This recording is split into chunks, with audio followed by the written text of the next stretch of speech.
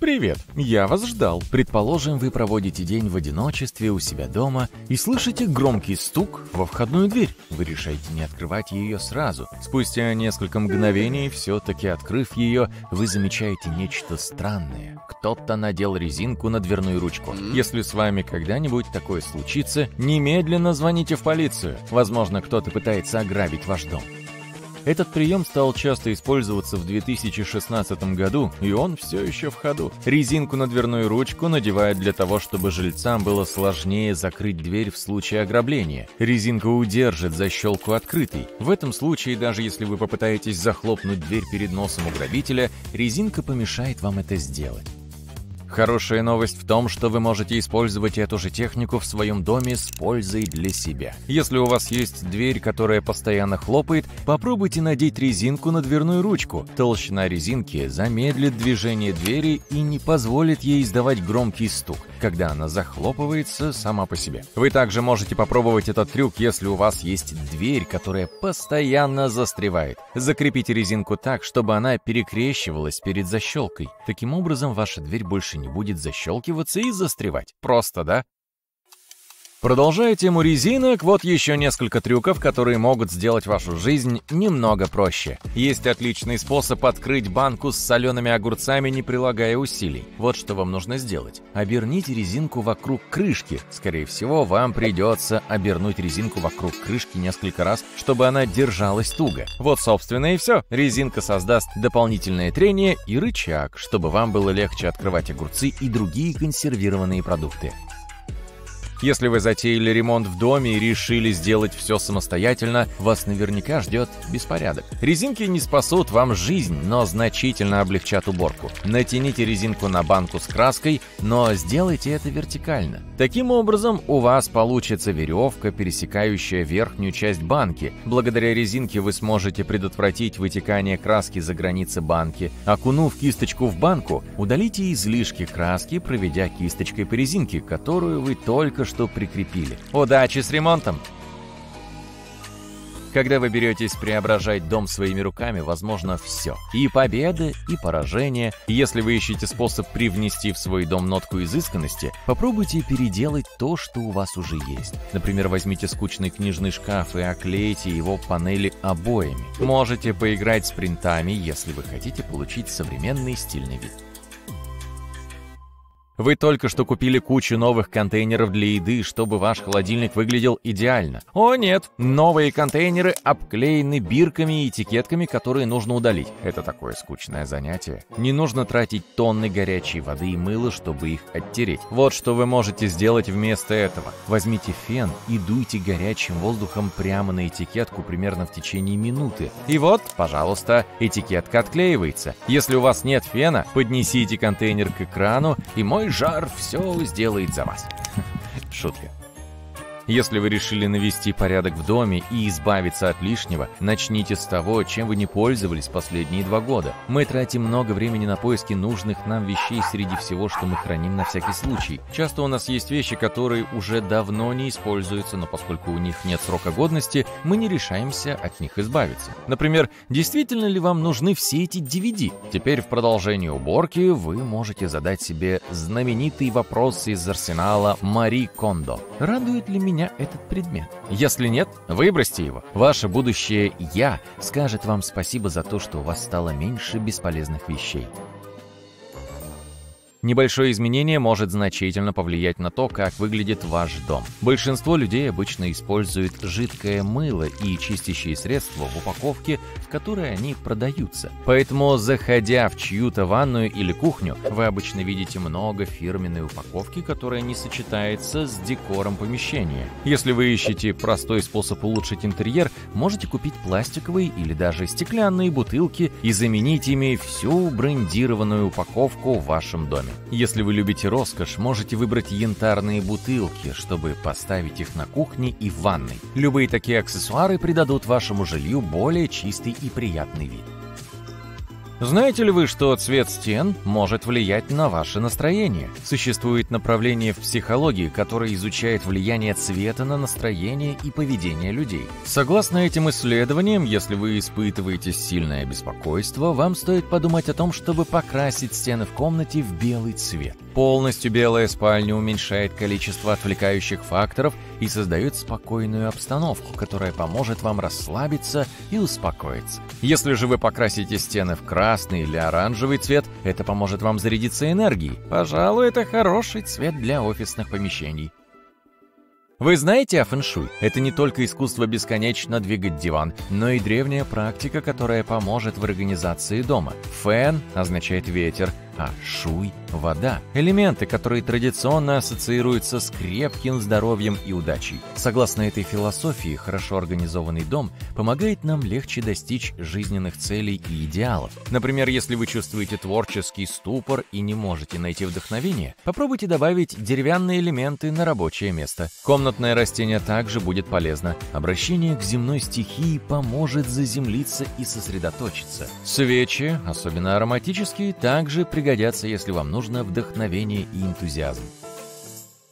В следующий раз, когда пойдете в супермаркет, купите стеклянные банки. Вы можете использовать их не только для хранения продуктов, но и как емкости для ароматического диффузора. Диффузоры сейчас очень популярны по нескольким причинам. Помимо терапевтического эффекта, они могут оживить любой уголок и сделать его более уютным. Вот что вам нужно сделать. Возьмите стеклянную банку и добавьте в нее несколько капель эфирного масла, например, лавандового или розмаринового, и долейте немного воды, чтобы разбавить масло. В завершении вам понадобятся деревянные палочки, чтобы окунуть их в только что созданную смесь. Ну, вот и все. Только не забывайте время от времени переворачивать палочки, так как именно влажные части рассеивают больше всего масла. Или можете купить электронный аромадиффузор, они довольно недорогие.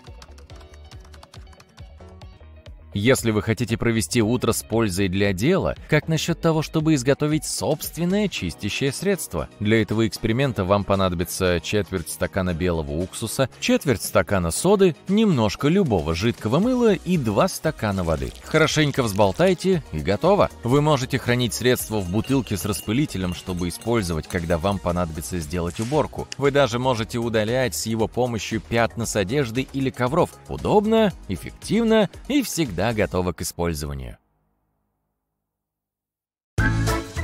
Если вам вдруг захочется разбудить или обнять большую панду, вспомните, что это очень и очень плохая идея.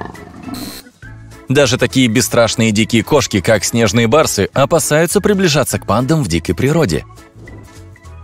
Животные в зоопарках менее активны, чем их дикие сородичи, но у них все равно есть массивные челюсти и мощные лапы, которыми они могут запросто вас схватить.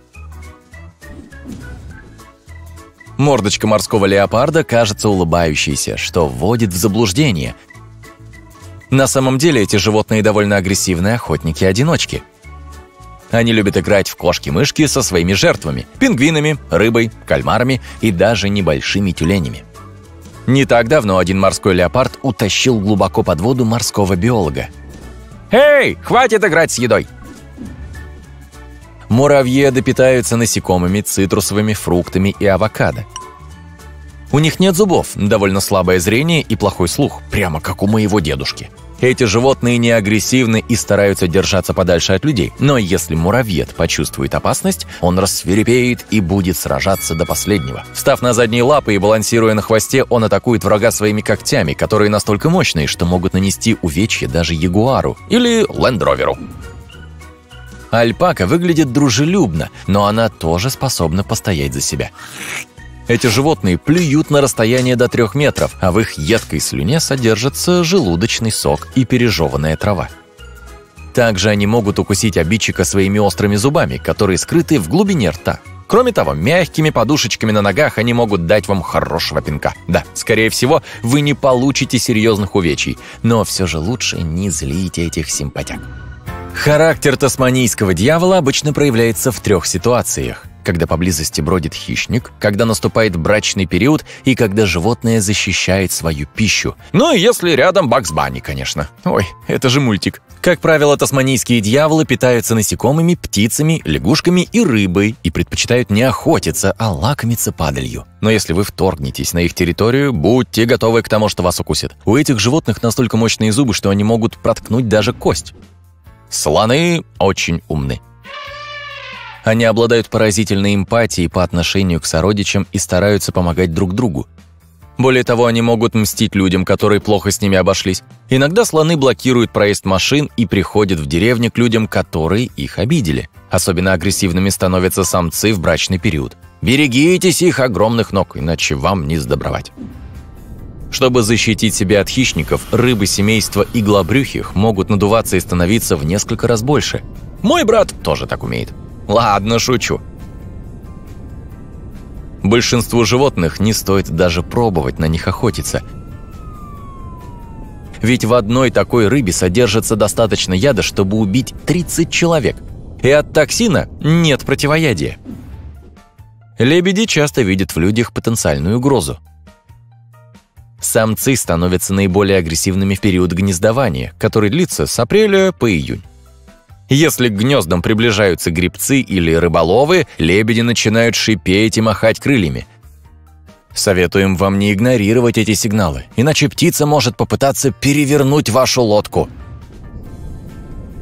Помимо людей, только дельфины могут отнять чужую жизнь без логичной причины. Иногда самцы нападают на самок и даже детенышей, причем не ради еды. Если вас преследует разъяренный дельфин, у вас нет шансов, потому что эти животные передвигаются со скоростью 32 км в час. Для сравнения, скорость олимпийского чемпиона по плаванию Майкла Фелпса составляет всего 10 км в час. Медленные лори – единственные в мире ядовитые приматы, и их яд расположен в локтях. Токсин перемещается в рот, когда животные начинают заботиться о потомстве – Плюс к тому лори с помощью своего окраса отпугивают хищников, таких как питоны и ястребы. Если человек вторгнется на территорию медленного лори, тот, скорее всего, его укусит. В результате может появиться сыпь, произойти анафилактический шок или даже что похуже. Несмотря на большой вес и неуклюжесть, бегемоты бегают быстрее людей. И у них намного более мощные зубы. Если вы встанете на пути к водопою, животные могут рассверепеть. Перед нападением бегемот начинает зевать или издает звуки, похожие на смех. Немного сбивает с толку, согласны? Синекольчатые осьминоги совсем небольшие, но их яд в тысячу раз сильнее цианида. Как правило, они используют его при охоте на креветок, крабов и небольшую рыбу – когда животное чувствует опасность, кольца начинают предупреждающе светиться. Если вы проигнорируете этот знак, осьминог может вас укусить. Есть вероятность, что вы ничего не почувствуете, но уже через пару минут вас ждут тошнота, не менее потеря сознания и двигательные нарушения. Так что будьте аккуратны. Географические конусы – довольно опасные создания. Эти улитки вонзают в жертву зуб, похожий на гарпун, и впрыскивают яд – если вас укусит небольшой конус, ощущения будут похожи на укус пчелы. А если вы наткнетесь на крупную особь, вам грозят онемение, паралич мышц, проблемы со зрением и дыханием. Канадские казарки живут по соседству с людьми, но все же они не любят, когда к их дому приближаются, особенно в брачный сезон. В это время самцы, почувствовав угрозу для самок или потомства, могут начать гнаться за людьми и даже кусаться. Если не хотите, чтобы на вас напала злая птица, просто держитесь от казарок подальше. И в дикой природе, и в городах у белок очень много врагов. Их главные средства выживания – это скорость и ловкость. Как правило, белки не опасны, однако они все же дикие животные и могут вести себя непредсказуемо. Будьте предельно осторожны. Эти животные кусаются и являются переносчиками множества инфекций, например, бешенства. Чаще всего белки нападают на домашних животных и детей, но могут укусить и взрослого человека. Чтобы обезопасить себя любимого, держитесь позади питомцев и детей. Ладно, ладно, я просто шучу. Если вдруг увидите, что кенгуру встает на задние лапы, лучше оставить его в покое. Животное видит в вас угрозу и таким образом предупреждает. Кенгуру – профессиональные боксеры, и у них очень мощные ноги и длинные когти. Чтобы увеличить силу удара, животные подпрыгивают в воздухе. Учтите, так они могут сломать человеку кость. У утконоса нет зубов, а питается он в основном насекомыми и моллюсками. Это один из двух видов млекопитающих, которые откладывают яйца. Не стоит недооценивать этих странных существ. Лапы самцов утконоса оснащены острыми шипами, яда которых хватит, чтобы убить собаку. Большую часть жидкости коалы получают из листьев эвкалипта, а защищают животных их острые зубы и когти. Если вы вдруг слишком крепко обнимете коалу, она может вас поцарапать и занести в рану инфекцию. Еноты могут с легкостью адаптироваться к любой местности. Как правило, они не нападают на людей, но могут нанести вред вашему дому и чем-нибудь вас заразить. Они готовы на все, чтобы раздобыть себе еды и постоянно роются в помойках и гнездах птиц. Там-то животные и подхватывают разные инфекции. Помимо всего прочего, раны, нанесенные енотом, довольно долго заживают – если вдруг бобр решит, что вы представляете угрозу для его плотины, он начнет хлопать по воде хвостом. Если вы проигнорируете этот сигнал, животное может пустить в ход свои острые зубы, так что лучше держаться от бобров подальше и не подходить к их плотинам. Большую часть времени выдры проводят, плавая на спине. Как правило, они оставляют вокруг много мусора в виде рыбных объедков, которые привлекают насекомых. А как вы знаете, насекомые являются переносчиками всевозможных болезней. Кроме того, у выдор очень острые зубы, которые они в любой момент готовы пустить в ход. Казуар – самая опасная птица на планете. Некоторые особи могут весить как взрослый человек. К тому же у казуаров мощные ноги и острые когти. Если такая птица погонится за вами, она сможет развить скорость до 48 км в час. К счастью, казуары предпочитают не ввязываться в драки. Однако, если не хотите, чтобы на вас напали, держитесь на расстоянии и не провоцируйте этих гигантов. Поняли? Отлично. Видите эти маленькие конусообразные земляные домики, похожие на мини-вулканы? Муравьи – маленькие безобидные существа, не обращающие на нас никакого внимания и занятые своей повседневной тяжелой работой. Если только речь идет не об австралийских муравьях-бульдогах, от которых лучше всего бежать без оглядки. Эти насекомые – одни из самых страшных существ в мире – их огромные шипастые челюсти созданы для того, чтобы хвататься за любого, кто сегодня окажется их обедом. Их обычный рацион включает в себя жуков, гусениц, мух или даже ос, пауков и лягушек. Эти муравьи охотятся на все, что только может оказаться в пределах их досягаемости. Они умны, свирепы и с легкостью вытесняют своего главного конкурента – плоских пауков-охотников, наполняя их гнезда ветками и листьями. Такие манипуляции действительно заставляют паукообразных ретироваться, оставляя муравьям больше еды. Но их опасные жвалы – не единственное, на что нужно обращать внимание. Они используют челюсти, чтобы удерживать еду, врага, вашу кожу, но в то же самое время вводят внутрь свое ядовитое жало. И это не то же самое, что укус пчелы. Они могут использовать яд несколько раз, абсолютно безопасно для себя. Так что остерегаться нужно именно жало, а не укуса. Впрочем, укус тоже не из приятных. Почувствовав опасность, муравей выпускает в воздух химическое вещество, чтобы предупредить остальных. Если вы оказались слишком близко к колонии, оттуда сразу выскочит целая бригада, готовая тут же на вас наброситься. Кроме всего прочего, у муравьев-бульдогов отличное зрение. Они быстрые и могут даже прыгать. А еще они довольно большие, длиной со спичку, так что лучше держаться от них подальше. Кстати, опасности могут подстерегать вас не только под ногами. Смотрите в оба! Прямо на вас летит африканизированная пчела. Это насекомое – лабораторный эксперимент, в котором что-то пошло совершенно не так. Все началось в 50-х. Цель – создать пчелу, которая производит больше меда. Метод – скрещивание африканского вида медоносной пчелы с группой европейских. Результат – свирепая пчела, более агрессивная, чем большинство типов, и с усиленными защитными рефлексами. Поначалу все шло хорошо. Но из-за какой-то лабораторной оплошности более 20 колоний этих монстров вырвались на свободу. Они распространились по всей Южной Америке и на Северном континенте – Говорят, этим пчелам не нравится, когда кто-то приближается к их дому ближе, чем на 4,5 метра. Это половина длины автобуса. И тогда они все вместе вылетают на его защиту. Около 10 тысяч сердитых пчел полетят прямо к нарушителю границы. Они будут преследовать злоумышленника на расстоянии длины четырех футбольных полей. Надеемся, у вас хватит выносливости, чтобы убежать от них. А еще есть огромные пчелы. Азиатский гигантский шершень. Самый большой из них размером примерно с ваш большой палец, и он в 20 раз больше обычной медоносной пчелы.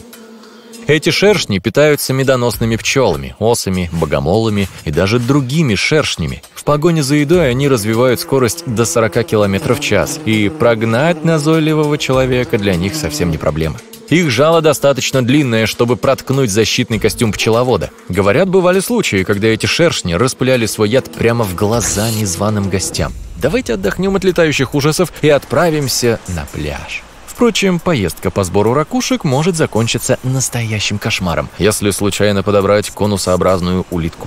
Охотясь или защищаясь, эти улитки выстреливают игольчатым гарпуном прямо через заостренный конец своей раковины. Всего лишь крошечной капли его яда хватит на 10 взрослых. А противоядия от него до сих пор не существует. Перед вами обладатель самого мощного в мире яда среди морских обитателей Куба-медуза. Это довольно крупное существо длиной примерно с человеческое предплечье. Конечно, не считая его длинных щупалец. Ее очень трудно заметить, ведь она прозрачная. Медуза хватает добычу сразу всеми ядовитыми щупальцами. Их яда вполне хватает на 60 взрослых. Немногие могут похвастаться тем, что выжили после встречи с этим плавающим желе. Да, кстати, ваш задний дворик вовсе не безопаснее морских просторов. Пока вы будете чистить сарай, берегитесь коричневого паука-отшельника. Они совсем небольшие и обычно не вырастают размером больше средней монеты. Но в этом-то и проблема. Можно легко заметить тарантула, кстати, безвредного, который ползет в вашу сторону. А вот коричневого отшельника вы не увидите, пока не станет слишком поздно. Сначала укус безболезненный, некоторые даже и не подозревают, что их укусили. Но как только паук вонзает в вас свои клыки, его яд начинает делать свою грязную, но бесшумную работу. Спустя 3-8 часов на месте укуса появляются покраснение и отек. Затем начинается жжение, и оно усиливается. Последствия от укуса обычно заканчиваются через 5 дней, но в редких случаях эффект может продолжаться до 3 месяцев. Даже хорошо знакомые вам насекомые могут быть весьма опасными. Вот как эта муха, жужжащая у вас на кухне. Знаете, где она, скорее всего, побывала прежде, чем прилететь к вам? Скорее всего, успела посидеть на мусорном контейнере. Затем побывала в общественном туалете, где с удовольствием прогулялась по грязному полу, стенам и сиденьям унитаза. Наверняка она посетила коровье пастбище и летала в зоопарк. В общем, была во всех самых грязных местах, а теперь прогуливается по прекрасной вазе с фруктами, которую вы выставили на всеобщее обозрение. И какие бы микробы после всех этих прогулок не сидели на этой мухе, теперь они на вашей еде. И все эти бактерии являются причиной разных заболеваний. Так что убирайтесь почаще и не пускайте мух. А теперь взгляните поближе на божью коровку, которая ползает у вас дома. Может быть, это совсем не то, что вы думаете. Азиатская божья коровка скорее желто-оранжевая, чем красная, как все обычные божьи коровки. Можно только определить разницу, если у нее есть М-образное пятнышко на голове. Если так, то это вовсе не безобидная божья коровка. Азиатские божьи коровки были завезены в Северную Америку и Европу из Азии. Они должны были бороться с паразитической тлей. Но этот план провалился. Звучит знакомо. И насекомое само превратилось в паразита. Их было так много, что они практически вытеснили классическую божью коровку. И они не только кусаются, но и выделяют вонючую желтую слизь, которая может испачкать стены или любую другую поверхность, по которой они ползают. Гусеница бабочки бражника Леандровой больше похожа на паука. Ее торчащие из ее боков щупальца, напоминающие руки, покрыты ядовитыми волосками. Одно прикосновение к ней может вызвать болезненное раздражение. Если вы обнаружите, что по вам ползет какая-то пушистая гусеница, не убирайте ее пальцами. Возьмите пинцет. Если ей удастся ужалить вас, аккуратно наложите пластырь на участок и снимите его так, чтобы удалить все вонзившиеся в это место волоски. Нельзя использовать один и тот же пластырь дважды иначе есть вероятность того, что вы заново занесете в рану волоски, прилипшие к пластырю. Промойте участок с мылом и водой, а при необходимости используйте крем от зуда. Если вы находитесь в Северной Америке, остерегайтесь самых ядовитых скорпионов на континенте. Аризонские скорпионы обычно путешествуют стаями, так что если вы увидите одного из них, знайте, что где-то поблизости прячутся его товарищи. Они прекрасно ориентируются в темноте, поэтому могут видеть вас тогда, когда вы не подозреваете об их присутствии. Более того, они предпочитают ползать вверх ногами, а значит могут прятаться прямо под столом, за которым вы сидите. Но некоторые жуткие существа практически невидимы для наших глаз. Они удобно устроились в траве и ждут, когда мимо пройдет их обед. О, смотрите, это ваша нога. Монстр хватается за вас и превращается в человеческую соковыжималку. Клещи, может быть, и маленькие, но именно это и делает их такими страшными. Они могут прятаться где угодно – в траве, кустах, на земле, в листве. Практически невозможно почувствовать, как они по вам ползают, и их укус остается незамеченным. Клещи могут стать причиной очень серьезных заболеваний.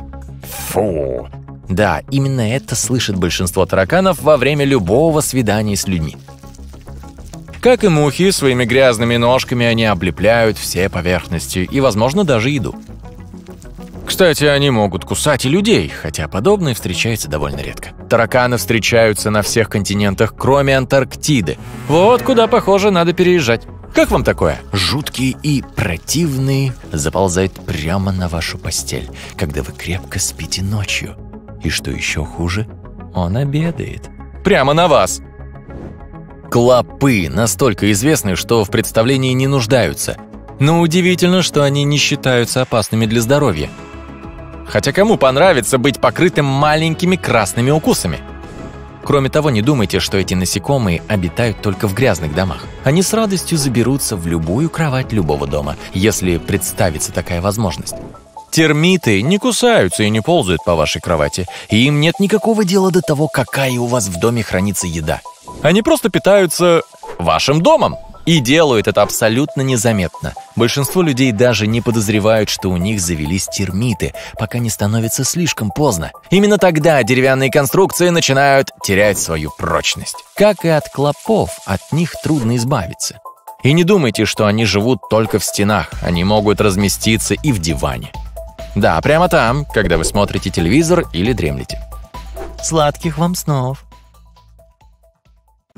У осьминогов три сердца. Два из них перекачивают кровь к жабрам, а большее сердце обеспечивает циркуляцию крови по всему телу. А еще у них 9 мозгов. Один центральный и 8 мини-мозгов в каждом щупальце, поэтому они могут функционировать независимо. Из-за этого центральный мозг посылает в щупальце сигналы более высокого уровня. Что-то вроде «двигайся к той ближайшей расщелине, там может прятаться краб». У людей мозг направляет и контролирует каждое движение наших ног и рук. А у осьминога щупальца действуют почти независимо на пути к расщелине. Кроме того, они ощущают вкус с помощью присосок. Поскольку их щупальца настолько независимы, осьминог не знает, где они находятся, пока их не увидит. Человеческое тело обладает способностью, называемой проприоцепцией. Благодаря этому мы знаем, где находится наша рука, даже если мы держим ее, скажем, за спиной. 1816 известен как год, когда лето не наступило. В апреле 815 года на горе Тамбора в Индонезии произошел мощный взрыв, который поднял в атмосферу огромные облака вулканического пепла. Большая часть северного полушария была покрыта пеленой пыли и грязи, которая никак не оседала, и в июне следующего года зима просто не закончилась. Мороз испортил посевы, а снег и дожди продолжались в течение всего лета. В Исландии можно увидеть одни одни из самых захватывающих пейзажей на нашей планете. Зубчатые горы, фьорды, горячие гейзеры, ледяные поля, потрясающие пляжи с черным песком, такие как пляж Рейнисфьяра. Большая часть песка на пляжах обычно образуется из горных пород, которые разрушались из-за изменений погоды и эрозии на протяжении тысяч или даже миллионов лет. На пляже Рейнисфьяра песок поразительно черного цвета, и это из-за вулканической активности. Лава из вулкана поднялась на поверхность, остыла, а затем затвердела в Атлантическом океане, создав такой завораживающий черный оттенок. Хоть пляж и выглядит волшебно и потрясающе, его высокие волны представляют большую опасность. Маленькие волны там объединяются в одну большую. Это явление возникает, когда океанские течения сталкивают волны вместе или, как в случае с этим пляжем, когда такие волны исходят от прибрежного подземного утеса и получают еще более сильный притягивающий эффект. Учитывая низкие температуры океана, лучше просто делать фотографии с безопасного места. Некоторые деревья разговаривают друг с другом. Конечно, не так, как люди, но деревья акации в африканской саванне могут предупреждать друг друга о приближающейся опасности. Когда животные, например, антилопы, объедают его листья, дерево сразу же начинает вырабатывать больше танина, который для животных токсичен. А еще оно выделяет особый тип газа, который распространяется по воздуху и предупреждает другие деревья о том, что им тоже нужно защищаться. Вы любуетесь звездами в спокойную ночь, и вдруг ночное небо прорезает вспышка яркого света. Падающая звезда. Круто! Но на самом деле это не звезда, а метеоры, которые представляют собой небольшие куски пыли и камня, движущиеся в космосе. Когда они проходят через нашу атмосферу, то вызывают трение, когда одна вещь трется о другую. Вот поэтому они и светятся. Трение нагревает метеоры, когда они пролетают через атмосферу, и тепло заставляет их светиться до того момента, пока они не сгорают и не превращаются в то, что мы называем падающей звездой. Закаты в пустынях очень красивы из-за впечатляющих и совершенно невероятных цветов. Солнечный свет состоит из разных оттенков цветового спектра. Когда солнце находится в зените, цвета смешиваются вместе, и мы видим их белыми. Но по мере того, как солнце опускается ниже, его лучи лучам приходится проходить через более толстые слои атмосферы. Затем атмосфера рассеивает свет с более короткими длинными волн, например, синим и фиолетовым. Вот почему более длинные оранжевые и красные длины волн выделяются. В городских условиях из-за грязного воздуха цвета заката становятся более тусклыми, чем в других местах. Чистый воздух в пустынях позволяет ярким краскам, исходящим от солнца, просвечивать в сумерках. Кроме того, водяной пар и насыщенные дождем облака могут приглушать оттенки заката. А когда дождя нет, тонкие облака фильтруют и отражают солнечный свет, а не блокируют его.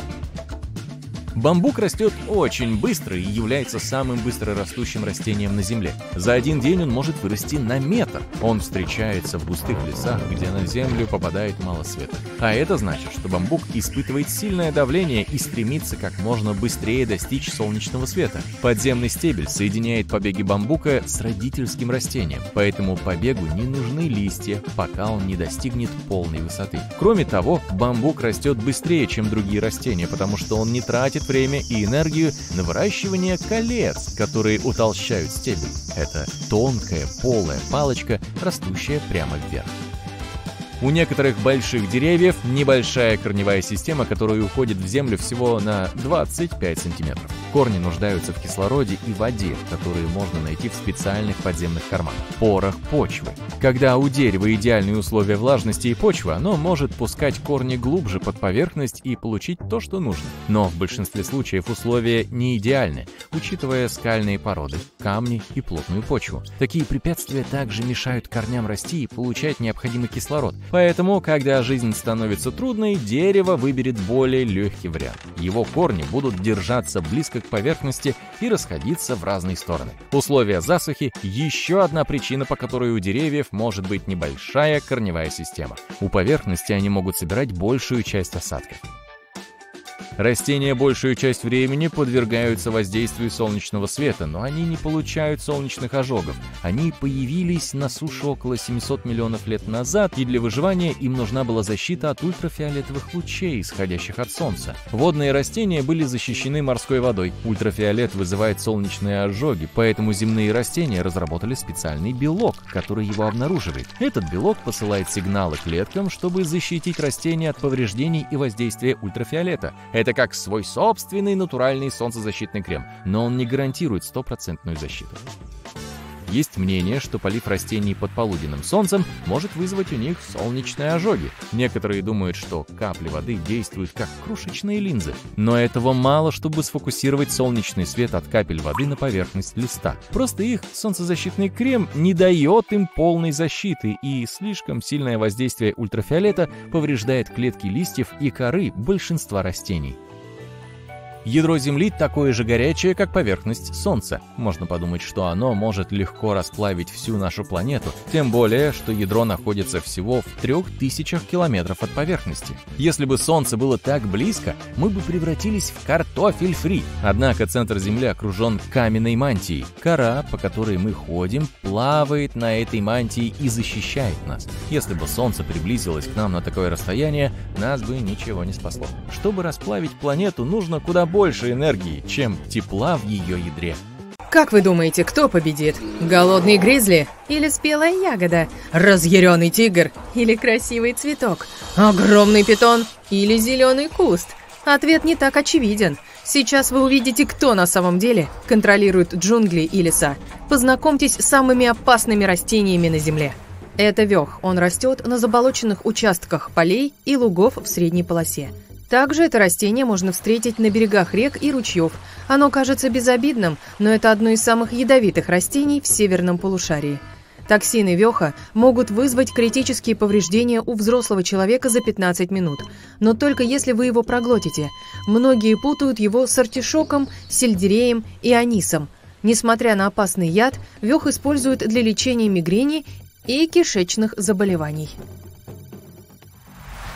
Это растение нанесло большой ущерб домашнему скоту. А гератина высочайшая растет на полях и пастбищах. Когда корова кусает это растение, оно выделяет жирорастворимый токсин. Этот яд попадает не только в тело животного, но и в молоко. Телята, которые пьют молоко, также заражаются. А отравленное молоко опасно и для людей.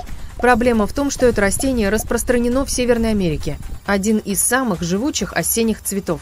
На современных фермах яд агератины не так опасен, но небольшим частным пастбищем он все еще создает огромные проблемы.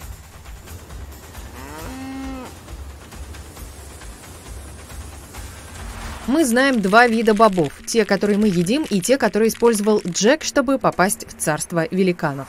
Но кроме них есть еще и ядовитые. Они называются касторовыми бобами. Они содержат один из самых опасных токсинов в мире – рицин. Как только он попадает в организм, он блокирует производство белков, необходимых для жизни. Без этих белков клетки перестают функционировать. Чем больше клеток разрушено, тем больше страдает организм. Касторовый боб выделяет рицин при сжатии. Несколько бобов могут вызвать обезвоживание, слабость, галлюцинации, судороги и другие проблемы – Семи бобов достаточно, чтобы нанести критический ущерб. Поэтому запомните, как они выглядят, и никогда не трогайте их, если встретите в лесу. Одно из самых красивых растений на планете также является одним из самых опасных. Это олеандр. В нем ядовито все – и стебель, и корень, и розовый цветок. Даже крошечный кусочек этого растения может привести к тяжелому отравлению – для того, чтобы создать серьезные проблемы, ему не обязательно попадать в желудок. Одно только прикосновение к соку цветка вызывает аллергию. И не пытайтесь его сжечь, так как дым горящего олеандра тоже обладает токсическим действием. А теперь о самом коварном растении в мире. Прикосновение к нему принесет вам боль на несколько лет, а если не повезет, вы будете ощущать последствия всю жизнь. Растение гимпи-гимпи, также известное как жалящее дерево, внешне похоже на обычный куст. Оно вообще не выглядит ядовитым. Но если вы встанете рядом с этим растением, то почувствуете удушье и глаза начнут слезиться – на его листьях есть тысячи крошечных ядовитых волосков. Они настолько легкие, что могут висеть в воздухе и разноситься ветром, поэтому если захотите рассмотреть это растение, вам стоит надеть противогаз. А если вы слегка прикоснетесь к гимпи-гимпи, проблемы вам гарантированы. Некоторые сравнивают один его ожог с одновременным укусом 30 ос. Ядовитые волоски легко проникают под кожу и вызывают раздражение и боль. Проблема в том, что вы не можете их извлечь. Помойтесь водой с мылом, воспользуйтесь дезинфицирующей мазью, и вы увидите, что ситуация только ухудшается. Избавиться от волосков нельзя, они остаются в коже, выделяя токсины и сводя вас с ума. Противоядия нет, потому что ученые до сих пор не знают, из каких компонентов состоит токсин. Он выдерживает холод и жару. Неприятные ощущения могут длиться несколько часов, дней и даже месяцев – Люди, которые прикасались к этому растению, говорили, что боль от укуса возвращается через несколько лет. Раз избавиться от волосков невозможно, то единственный выход – ждать, пока они потеряют свою токсичность. Но здесь возникает другая проблема. Вы можете сорвать один лист гимпи-гимпи в перчатках и отправить в лабораторию, высушить его и забыть о нем на несколько лет. И вот он лежит перед вами маленький и засохший. Он кажется безобидным, но это не так. Даже через много лет ядовитые волоски остаются на поверхности листа и по-прежнему вызывают токсическое действие. Гимпи-гимпи растет только в Австралии. Он любит солнце и густые заросли. Раньше это растение представляло серьезную опасность для туристов и лесорубов. Но теперь все места с ним помечены предупреждающим знаком. На ботанических выставках ученые помещают гимпи-гимпи в клетку, чтобы люди его не трогали. Четочник молитвенный может иметь белые семена с черным глазком или черные семена с белым глазком. Это растение встречается в Африке, Азии, Австралии и в регионе Тихого океана. Некоторые виды были завезены во Флориду и на Гавайи. Вы можете увидеть это растение даже на городских улицах. Семена четочника используют в ювелирных изделиях и некоторых игрушках. Люди, которые носят браслеты из четочника, вероятно, не знают о токсичности его семян – как и касторовый боб, он способствует разрушению клеток. Интересно, что семена этого растения используются не только в качестве украшений, но и для лечения некоторых болезней. Это единственное ядовитое растение из списка, которое выглядит ядовитым. Вы не захотите брать его в руки, когда заметите. Видите красный стебель, который больше похож на артерию или увеличенную нервную систему, а ягоды напоминают глаза – Воронец толстоножковый, он же кукольный глаз, выглядит жутковато. Его свойства также неприятны, как и внешний вид. Кукольный глаз содержит опасный токсин. Чем дольше он растет, тем более ядовитым становится. Химикаты кукольного глаза оказывают успокаивающее действие на мышцы и сердце. Это означает, что организм расслабляется настолько, что перестает работать. Вы наверняка видели это растение в реальности или в фильмах о дикой природе – Венерина мухоловка – редкий представитель плотоядных растений. К счастью, она не так опасна для человека, как для насекомых. Но не стоит совать в нее палец. Итак, вот как все работает. Растение открывает рот. Внутри находится красный лепесток с привлекательным ароматом. Это приманка. Муха или другое насекомое замечает ее, решает попробовать и забирается внутрь цветка. Венерина мухоловка закрывается не сразу. Крошечные чувствительные волоски внутри растения считают движение мухи. Если муха делает больше двух движений за 20 секунд, через долю секунды растение захлопывает свой рот. Эта задержка нужна, чтобы мухоловка не закрывалась впустую, когда туда попадает мусор. И вот муха оказывается в ловушке. Щетинки на челюстях растения работают как клетка. Добыча не может выбраться. Венерина мухоловка впрыскивает в рот пищеварительный сок, который уничтожает муху. Через 5-12 дней растение снова открывается и ждет новую жертву. Венерина мухоловка может питаться мухами, жуками, пауками и даже маленькими лягушками.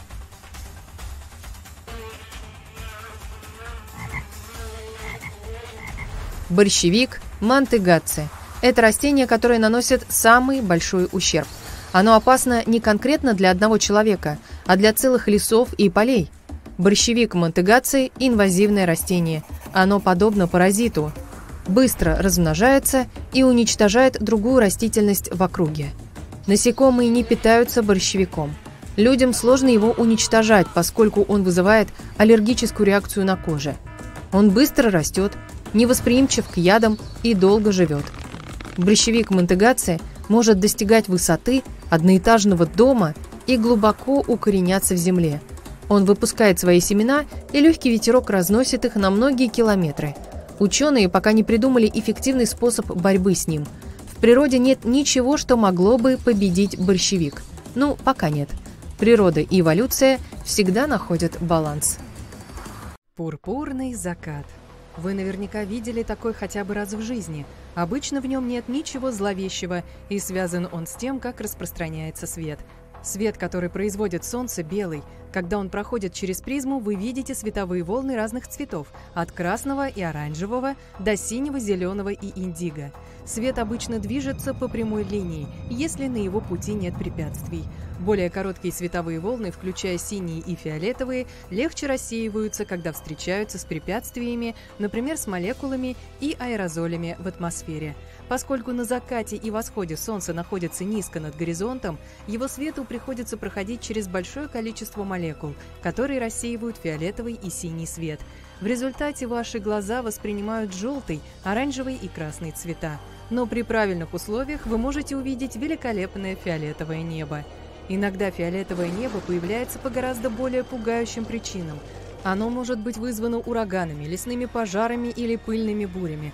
Концентрация паров в воздухе увеличивается, и свет рассеивается сильнее, чем обычно – Пыль, заходящее солнце и низкая облачность также способствуют этому природному зрелищу. В сумерках небо становится оранжевым и красным, если света еще достаточно. Затем оно дает розовые оттенки, которые смешиваются с темно-синим небом над головой. А теперь вспомните, что происходит, когда вы смешиваете розовый и синий. Получается фиолетовый цвет. Не каждый ураган делает небо фиолетовым, и пытаться предсказать, произойдет ли это, все равно, что пытаться предсказать радугу. Тем не менее, люди сообщали, что несколько крупных ураганов заставили небо стать фиолетовым. Зеленое небо выглядит так же эффектно, как и фиолетовое, и оно буквально кричит об опасности. Обычно оно говорит о том, что где-то рядом гроза, град или торнадо. Уникальный цвет – это результат смешения желтых лучей солнца с синим светом, исходящих от грозовых облаков. Вы наслаждаетесь прекрасным днем на берегу океана. Свежий бриз играет с вашими волосами, как вдруг вы замечаете, что вода начинает отступать от берега с огромной скоростью. Это знак, что нужно бежать как можно быстрее и дальше от пляжа. Скорее всего, цунами уже на подходе. Быстрая реакция увеличит ваши шансы на выживание. Если вы заметили, что уровень моря поднимается, но не слишком резко, это может быть еще одним признаком приближающегося цунами. Такое происходит в 40% случаев, и прибывающая вода – это первая волна цунами. Следующая, гораздо более крупная и опасная, обычно следует примерно через 10 минут. Еще одна особенность цунами в том, что они сопровождаются громкими звуками. Люди описывают их как гром, звук локомотива, вертолета или просто резкий бум. Видите канал неспокойной воды у берега? В ваших интересах не купаться в этом месте. Под поверхностью скрывается отбойное течение, которое может быть очень опасным. Иногда волны ударяются о берег странным образом, что приводит к образованию таких течений – вы можете увидеть странный излом в волнах или участок, цвет которого отличается от цвета остальной воды. Кусочки водорослей, разлетающиеся во все стороны. Еще один знак, предупреждающий от отбойном течении. Если вы попадете в него, постарайтесь держаться на плаву, но не плывите против течения. Вы только зря потратите драгоценную энергию. Кричите о помощи и пытайтесь плыть вдоль берега. Как только вы вырветесь из течения, плывите к берегу по диагонали. В следующий раз, когда увидите в небе облака конической формы, помните, что сейчас самое время искать укрытие. Если они статичны, надвигается сильная гроза. Если же облако такой формы начинает вращаться, значит оно вот-вот превратится в торнадо. Если поблизости есть пчелы, они могут однажды спасти вас от больших неприятностей.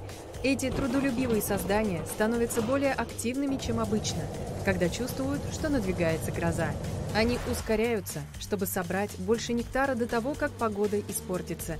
И, покончив с делами, они всегда возвращаются в улей за 10-15 минут до начала сильного дождя – даже если нет явных признаков его приближения. Их секрет в сверхчувствительных волосках на спине, которые могут улавливать электростатические заряды от грозовых туч.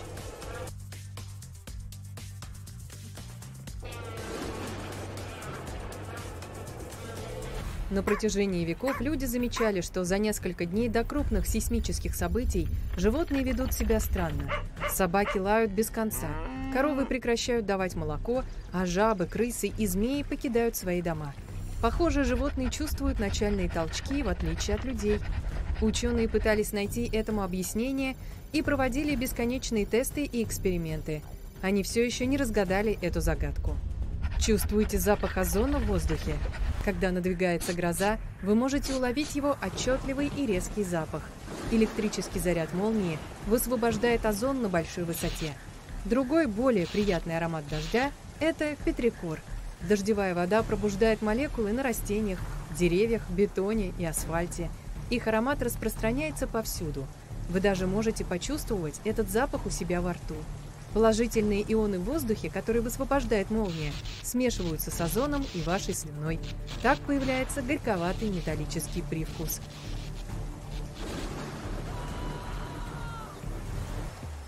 Когда молния вот-вот ударит, вы можете услышать потрескивающие, жужжащие или вибрирующие звуки, исходящие от металлических предметов поблизости. Ваши ладони могут вспотеть, а затем вы можете почувствовать, как волосы встают дыбом. Это явный призыв к действию, и это действие – бежать, спасая свою жизнь. Положительные заряды проходят через ваше тело, пытаясь дотянуться до отрицательно заряженной части грозы. Не в ваших интересах, чтобы эти заряды встретились.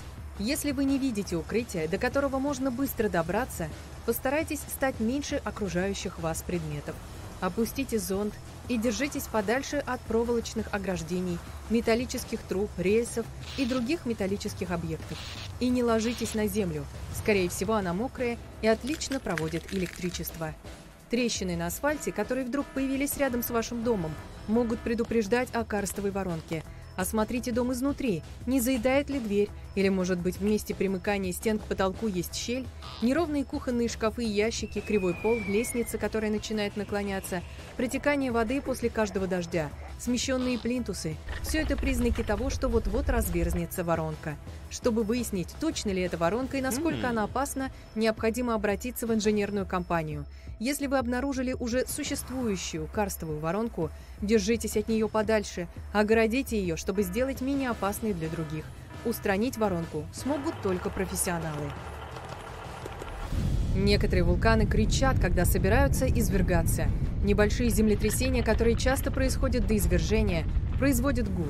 В основном он не слышен человеческому уху, но иногда достигает частоты, позволяющей расслышать странный грохочущий или шипящий звук, исходящий из Земли. Этот шум известен как гармонический тремор.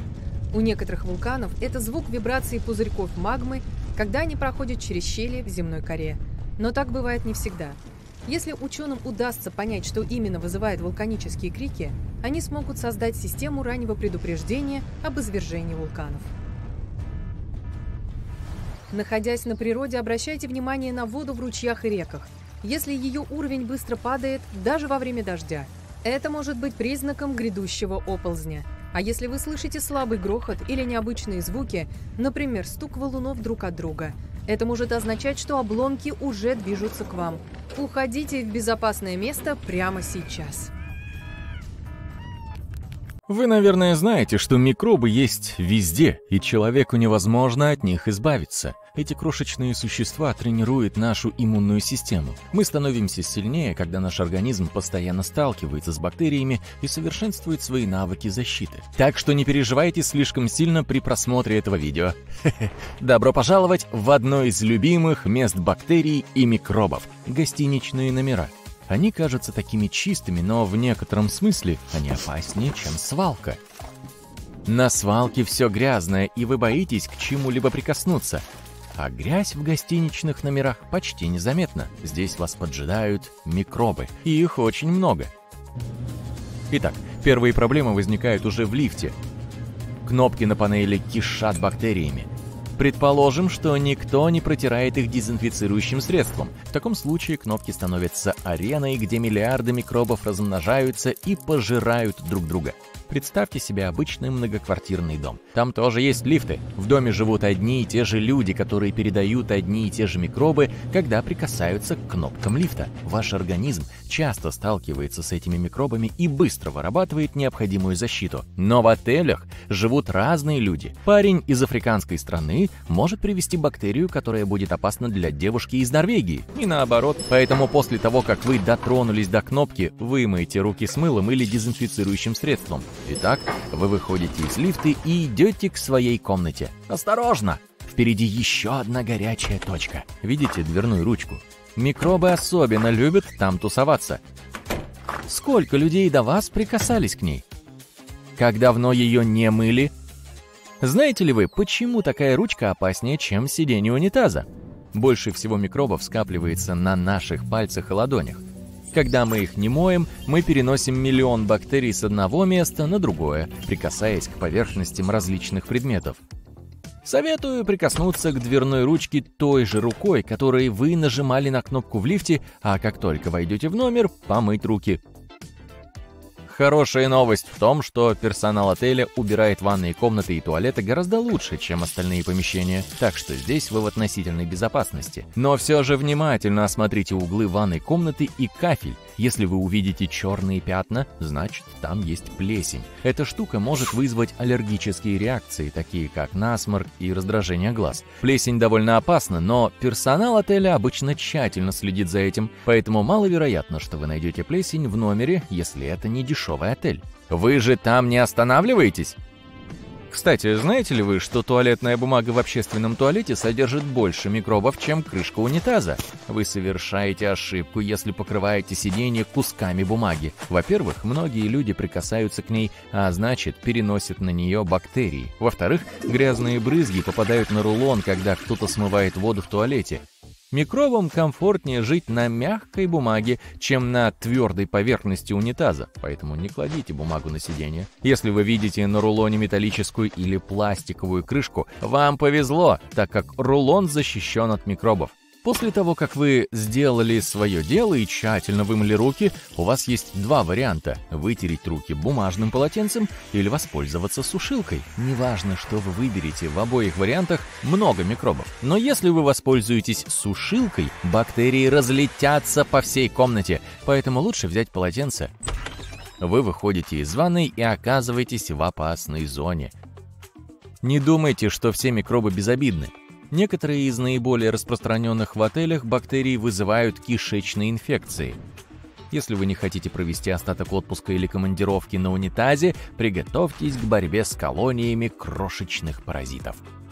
Первое, что вам нужно сделать, это вымыть стаканы и чашки с мылом. Некоторые путешественники берут с собой собственные кружки. Здравая идея. Затем оглянитесь вокруг и спросите себя, каким местам люди прикасаются чаще всего. Это пульт дистанционного управления телевизором, кофеварка, холодильник, дверные ручки, столы, фен, и окна. Расслабьтесь, вам не нужно делать уборку вместо персонала отеля. Достаточно иметь влажные салфетки с мощным дезинфицирующим средством. Протрите поверхность всех этих предметов. Возможно, вы напрасно беспокоитесь, и в отеле тщательно следят за чистотой номеров. Или можете сказать менеджеру, что хотите, чтобы ваш номер убрали еще раз. Итак, вы протерли все поверхности и ныряете в постель. К сожалению, вы не единственный, кто отдыхает на этом мягком матрасе у вас есть огромная компания бактерий. Конечно, стирка наволочек и постельного белья уничтожает микробы, но как быть с покрывалом? Скорее всего, его никто не стирает. Удалить микробы с ткани очень сложно, поэтому вам лучше смириться. Но вот с чем не стоит мириться, так это с клопами. Если вы заметили на своем матрасе темные пятна, это, скорее всего, отходы жизнедеятельности клопов. Вы ведь не едите? Не хочу портить вам аппетит.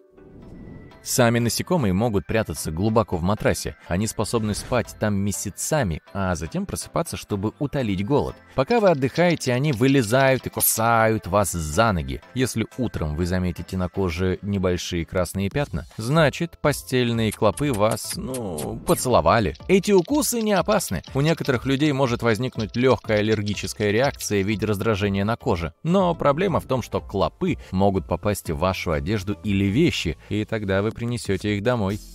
Эти существа быстро размножаются, поэтому если вы не хотите, чтобы в вашем доме появилась колония кусачих клопов, перестирайте свою одежду, почистите чемодан и сходите в душ. Но перед этим попросите менеджера отеля вернуть вам деньги, потому что клопы — это неприемлемо.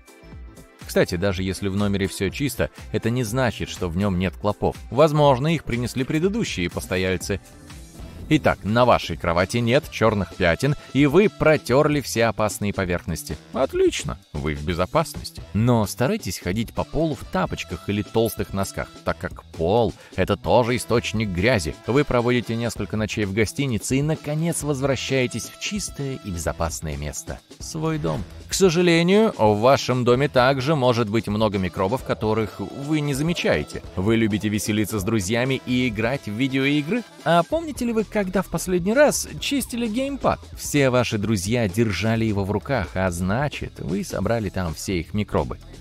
Кухонная разделочная доска. Как тщательно вы ее моете? Недостаточно просто сбрызнуть ее водой, особенно если вы режете мясо и овощи. Вы можете порезать кабачок, и его микробы прилипнут к поверхности. Затем вы быстро моете доску и ставите ее на место. Но микробы никуда не исчезли. Они по-прежнему прикреплены к поверхности и ждут, когда вы нарежете хлеб. Затем они перепрыгнут на еду и попадут в ваш желудок. Как там ваш аппетит? Все еще хороший?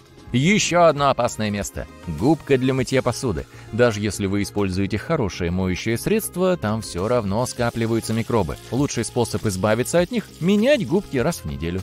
А сейчас вы увидите рай для бактерий. Место с идеальной прохладной температурой и большим количеством продуктов, от свежих до испорченных. Это ваш холодильник. Туда вы кладете продукты, которые приносите из супермаркета. Сотни людей могут прикасаться к ним руками, оставляя миллионы микробов. Поэтому не забывайте мыть холодильник, а также держите любое место подальше от упакованных продуктов, потому что микробы на сыром стейке быстро размножаются. Возможно, вы теперь переживаете о своем здоровье. Если так, вспомните начало ролика. Микробы тренируют наш иммунитет. Мы часто оставляем в машине ценные вещи или плитку шоколада. Но есть то, чего оставлять не следует. Вот на что следует обратить внимание, прежде чем выходить из машины. Номер один. Аэрозольные баллончики. Лак для волос, дезодорант, аэрозольная краска, чистящие средства и тому подобное. На обратной стороне у них есть рекомендации по температуре хранения. Эти баллончики находятся под давлением, и они очень чувствительны к температуре. Их содержимое может расширяться. Это приведет к образованию трещин, и баллончик взорвется. Температура выше 48 градусов уже вызывает тревогу а в теплый летний день вашей машине может стать очень жарко. Исследователи выяснили, сколько времени требуется автомобилю, чтобы нагреться в жаркий день.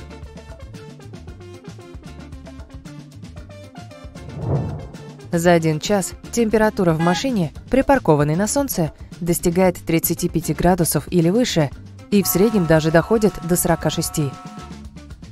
Итак, если вы хотите, чтобы с вашей машиной все было хорошо, забирайте с собой аэрозольные баллончики. Номер два. Солнцезащитный крем. Он жизненно важен для кожи, так как снижает риск кожных заболеваний и предотвращает негативное влияние на кожу из-за воздействия солнца, появления морщин, дряблости и пигментных пятен. Но если оставить крем в машине, то из-за воздействия высоких температур срок его годности станет меньше – Испорченный крем можно распознать по странному запаху. Кроме того, из-за высокой температуры крышка крема может открыться, и содержимое разольется по всей машине.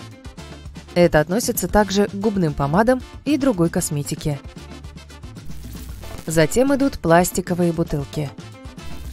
Есть две причины, по которым нельзя оставлять их в машине. Во-первых, Пластиковая бутылка с водой может работать как линза, увеличивающая солнечные лучи и вызывающая огонь. Пожарные провели эксперимент и подтвердили, что опасность пожара вполне реальна, если луч света будет достаточно сфокусирован. Вторая причина связана со здоровьем. Многие пластиковые бутылки содержат бисфенол, потенциально токсичное соединение. При высоких температурах его уровень может повышаться – а это очень вредно для организма. И если пластиковую бутылку оставить в машине надолго, то это вещество может попасть в воду. О, и батарейки. Если оставить их в автомобиле, то они могут потерять способность работать на полную мощность. Конечно, можно купить новые и устранить эту проблему, но это может быть и вредно для здоровья, потому что аккумуляторная кислота опасна при вдыхании и вызывает сильную коррозию. Причина утечки опять же связана с высокими температурами. Производители батареек рекомендуют хранить свои изделия при комнатной температуре. Этот факт немного связан с батарейками. Речь пойдет об электронике. Как думаете, насколько горячим может стать телефон, если он будет лежать на солнце? Представьте, что вы ведете машину и смотрите на навигатор в телефоне. Даже в этой ситуации телефон может нагреться. А что будет после нескольких часов пребывания на солнце? Итак, электронику в машине лучше не оставлять, потому что она может отключиться, выйти из строя и даже взорваться. Личные вещи тоже лучше не забывать. На ум сразу приходит кошелек или сумочка. Но паспорта или даже какой-нибудь мелочи на пассажирском сидении может быть достаточно, чтобы привлечь вора. Лучше держать такие вещи подальше от посторонних глаз, например, в багажнике. Жизнь бывает слишком насыщенной, поэтому понятно, что у вас может не быть времени на чистку машины. Но оставлять в машине мусор – это большая ошибка. Воры, как правило, ищут грязно выглядящие автомобили, полагая, что владелец редко пользуется таким транспортным средством. А как насчет растений?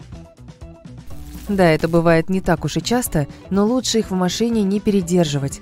Из-за жары в автомобиле они могут быстро завянуть. Лекарства тоже не должны лежать в машине слишком долго.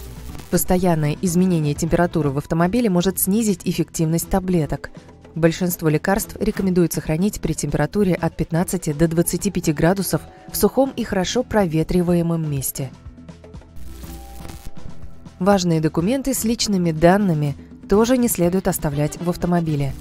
Например, налоговые формы, финансовые отчеты и школьные выписки – Мошенники могут использовать эту информацию в преступных целях.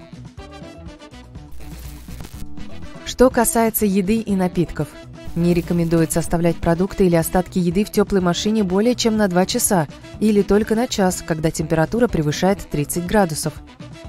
То же правило действует и зимой.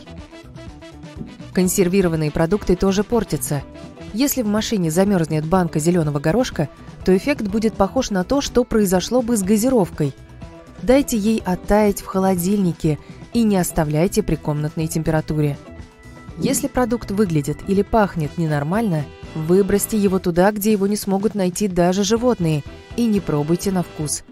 Если банка окажется ржавой или с трещинами, то ее тоже лучше выбросить. Еще один пример – яйца.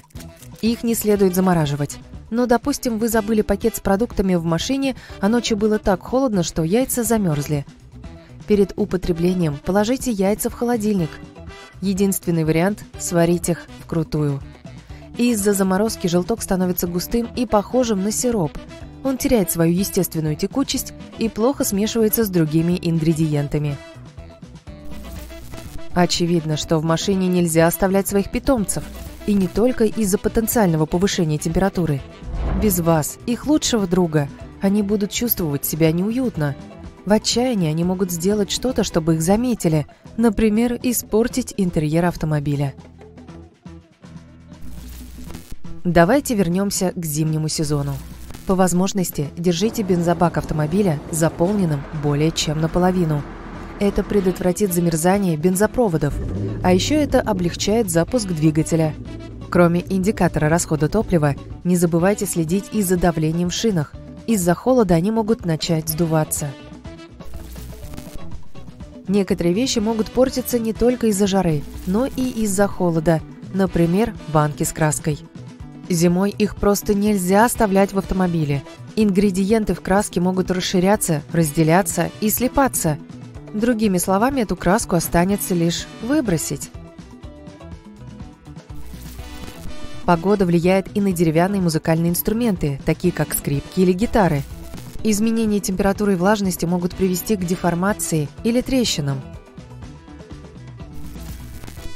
Колебания температуры влияют и на очки. В жару пластиковая оправа может погнуться, а при холоде пластик станет ломким. Из-за этого хрупкость очков увеличивается. Не оставляйте в машине ключи от дома и пульт для открывания гаражных ворот. Так делают многие, но это рискованно. Они могут попасть не в те руки. Чтобы слушать музыку, многие подключают к автомобилю телефоны или слушают радио. В наши дни компакт-диски используются все реже, но в любом случае не оставляйте их в машине. Они могут деформироваться и испортиться. Как думаете, какие еще вещи нельзя оставлять в машине? Вы привыкли подбирать попутчиков во время долгих поездок? Возможно, вам стоит узнать о дорожном мошенничестве, когда фальшивые автостопщики обманывают ничего не подозревающих водителей. Обычно мошенничество начинается с того, что человек, выдающий себя за автостопщика, останавливает машину на обочине дороги.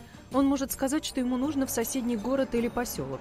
В некоторых случаях автостопщик просит остановиться в определенном месте, например, на заправке или в магазине, где он исчезнет с деньгами или другими ценностями водителя. Это мошенничество бывает и групповым, когда компания людей подкарауливает машину и просит их подвести, а когда машина трогается, пассажиры угрожают водителю и крадут деньги, ценности или даже саму машину. Важно знать об этом мошенничестве и всегда быть настороже, подбирая попутчиков. Лучше всего не давать деньги или другие ценные вещи тому, кто утверждает, что его нужно подвести, и никогда не останавливаться в небезопасном или незнакомом месте. Автостопщики не единственная причина, по которой вы можете попасть в беду на дороге. Кусок сыра – это не то, что вы ожидаете найти на припаркованном автомобиле, да? И он может свидетельствовать о чем-то очень опасном. Одна женщина рассказала о подобном случае в интернете. Сначала она подумала, что ее просто разыграл соседский подросток и попросила подругу помочь с уборкой.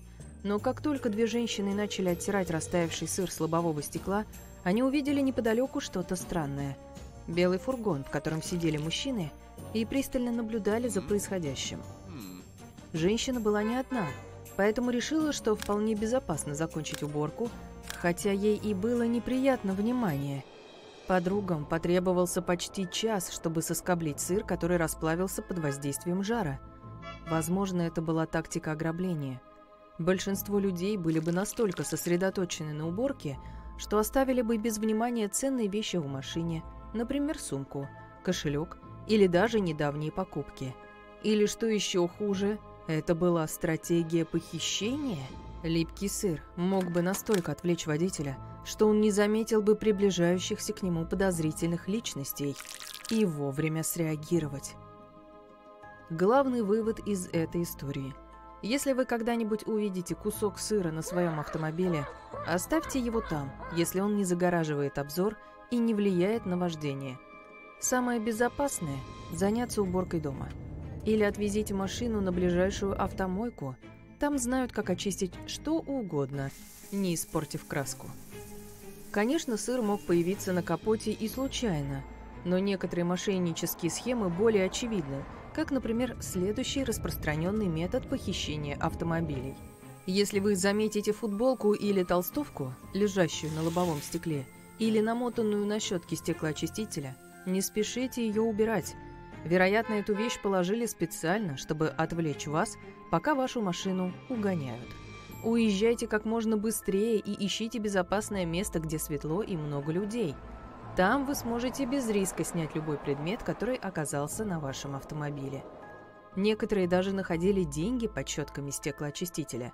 Легко предположить, что у тех, кто их там оставил, были дурные намерения. Существуют методы, которые помогут снизить вероятность угона вашего автомобиля.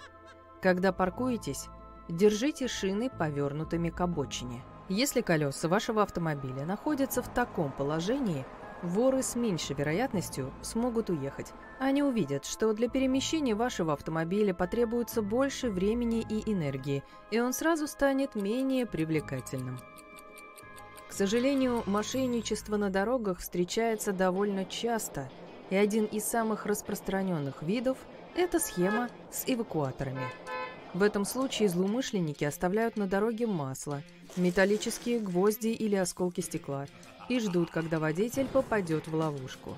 Если в такой ситуации ваш автомобиль будет поврежден, мошенники внезапно появятся из ниоткуда и предложат услуги эвакуатора по чрезвычайно высокой цене. Они попытаются оказать на вас давление, чтобы вы воспользовались их услугами, поэтому чаще всего они размещают эти ловушки в тщательно продуманных местах. Они делают так, чтобы люди оказывались в затруднительном положении – в условиях плохой видимости и далеко от заправки, где можно было бы оценить ущерб, нанесенный автомобилю. В ситуации, когда у вас нет другого выхода, кроме как дать согласие на буксировку вашего автомобиля, они воспользуются ситуацией и отвезут его в мастерскую, неодобренную вашей страховой компанией. Это означает, что вам придется заплатить еще больше денег, чтобы вернуть автомобиль. Если вы водите достаточно давно, то вы знаете, что водитель, который въехал в другой автомобиль сзади, всегда виноват. Это потому, что вы должны держать дистанцию до автомобиля впереди вас, чтобы безопасно остановить машину в случае чрезвычайной ситуации. Некоторые мошенники используют это в своих интересах, резко тормозя, чтобы в них врезались. Эта опасная тактика используется для получения денег за мнимый ущерб и даже за мнимые медицинские расходы. Чтобы не стать жертвой такого мошенничества, снижайте скорость и держитесь подальше от подозрительных автомобилей или хаотичных водителей – если мошенник продолжает беспокоить вас в пробке, лучше всего доехать до ближайшего полицейского участка и сообщить о нем. Представьте себе такое. Вы едете по дороге, и вдруг мотоциклист привлекает ваше внимание и указывает на то, что ваши колеса дымятся. Вы быстро съезжаете на обочину. Затем мотоциклист предлагает помочь, вызвав механика, который проверит ваши колеса. Удивительно, но механик приезжает очень быстро. Он отключает вашу тормозную систему, пока якобы выясняет причину дыма. Затем он просит вас проверить тормоза, которые, конечно же, не работают, поскольку он их уже отключил. Притворяясь полезным, он предложит вам починить тормоза, но возьмет за это огромную цену. Мораль этой истории. Сами вызывайте проверенного механика или буксировщика. Никогда не знаешь, кого встретишь на дороге. Существуют и городские легенды, связанные с вождением. Некоторые утверждают, что видели на дорогах человека, который идет не в ту сторону. В одной из версий этой истории говорится о человеке, который едет по улицам с односторонним движением в обратном направлении, вызывая хаос и неразбериху, когда водители пытаются объехать его. Говорят, что этот человек безумен и опасен, с диким взглядом и склонностью к безрассудному вождению. В других историях он даже не за рулем – Утверждается, что если вы увидите этого загадочного человека на обочине по пути домой, вам следует развернуться и не возвращаться в свой дом по крайней мере неделю, если вы не хотите, чтобы случилось что-то плохое. Существует бесчисленное множество историй о встречах с этой загадочной фигурой. Некоторые даже говорят, что были сбиты этим человеком и в результате получили серьезные травмы. Несмотря на многочисленные рассказы, нет никаких конкретных доказательств того, что человек, который идет не в ту сторону, действительно существует. Эксперты считают, что эта легенда просто поучительная история, призванная напомнить людям о необходимости быть внимательными и соблюдать правила безопасного вождения. Однако легенда сохраняется и продолжает передаваться из поколения в поколение, что делает ее одним из самых живучих городских мифов всех времен. Вы когда-нибудь видели морской огурец, лежащий на песке, и думали, что он похож на кляксу? Эти существа кажутся беззащитными, но на самом деле у них есть несколько интересных стратегий, позволяющих им постоять за себя. Биологи обнаружили химические соединения, с помощью которых морские огурцы защищаются от хищников и даже от собственных токсинов. И знаете что? Эти соединения могут быть полезны для здоровья человека. Когда морские огурцы чувствуют опасность, они выбрасывают нитевидные части своего тела. Эти трубки обездвиживают хищников липкими токсичными объятиями. Токсичность обусловлена некоторыми химическими соединениями, которые обычно встречаются в растениях. Эти химические вещества гораздо реже встречаются у животных, но морские огурцы эволюционировали, чтобы использовать их в своих интересах. Эти вещества также известны своими антиоксидантными и противовоспалительными свойствами. Люди используют их во многих отраслях, например, в косметике. Чтобы использовать это вещество для защиты, морским огурцам пришлось решить важную задачу и научиться не повреждать себя собственными токсинами. Вот почему их клетки не содержат холестерин, который токсины связывают и пробивают. Вместо этого морские огурцы разработали два вида альтернативных холестерину веществ. Это стратегия самозащиты. Если вы производите токсичные вещества, вы должны стать неуязвимыми для них. Теперь вы знаете, что не стоит трогать морской огурец, если вдруг наткнетесь на него на пляже. Продолжая разговор о том, чего следует избегать на пляже, перейдем к улитке – мраморный конус. Существу настолько уникальному и опасному, что у вас голова пойдет кругом. Эта улитка – настоящий путешественник. Ее можно встретить на всем пути от южной оконечности Индии и Окинавы в Японии до Новой Каледонии и Самоа. Впечатляющий диапазон. И интересно не только то, где она водится, но и то, как она охотится. Эта улитка маленький, но свирепый хищник. Она любит полакомиться другими улитками, а иногда и представителями своего вида. Когда она голодна, она высовывает длинный белый зуб и выстреливает гарпуном с ядом в свою жертву. А если это не сработает, она повторит атаку несколько раз. Так что она еще и настойчива. Как только гарпун попадает в цель, добыча обездвиживается и ее мышцы начинают необратимо расслабляться. Когда добыча становится беспомощной, улитка приступает к трапезе. Где можно найти это страшное существо, спросите вы? Оно водится на мелководье, обычно на платформах коралловых рифов или выступах лагун, а также в песке, под камнями и среди водорослей. В следующий раз, когда вы пойдете купаться, будьте осторожны. С другой стороны, знаете ли вы, что яд этой улитки может стать средством для лечения боли? Специалисты проводят исследования, и некоторые химические вещества, содержащиеся в этом яде, показывают неплохие результаты. Возможно, этот необычный необычный хищник сможет быть полезен в медицине.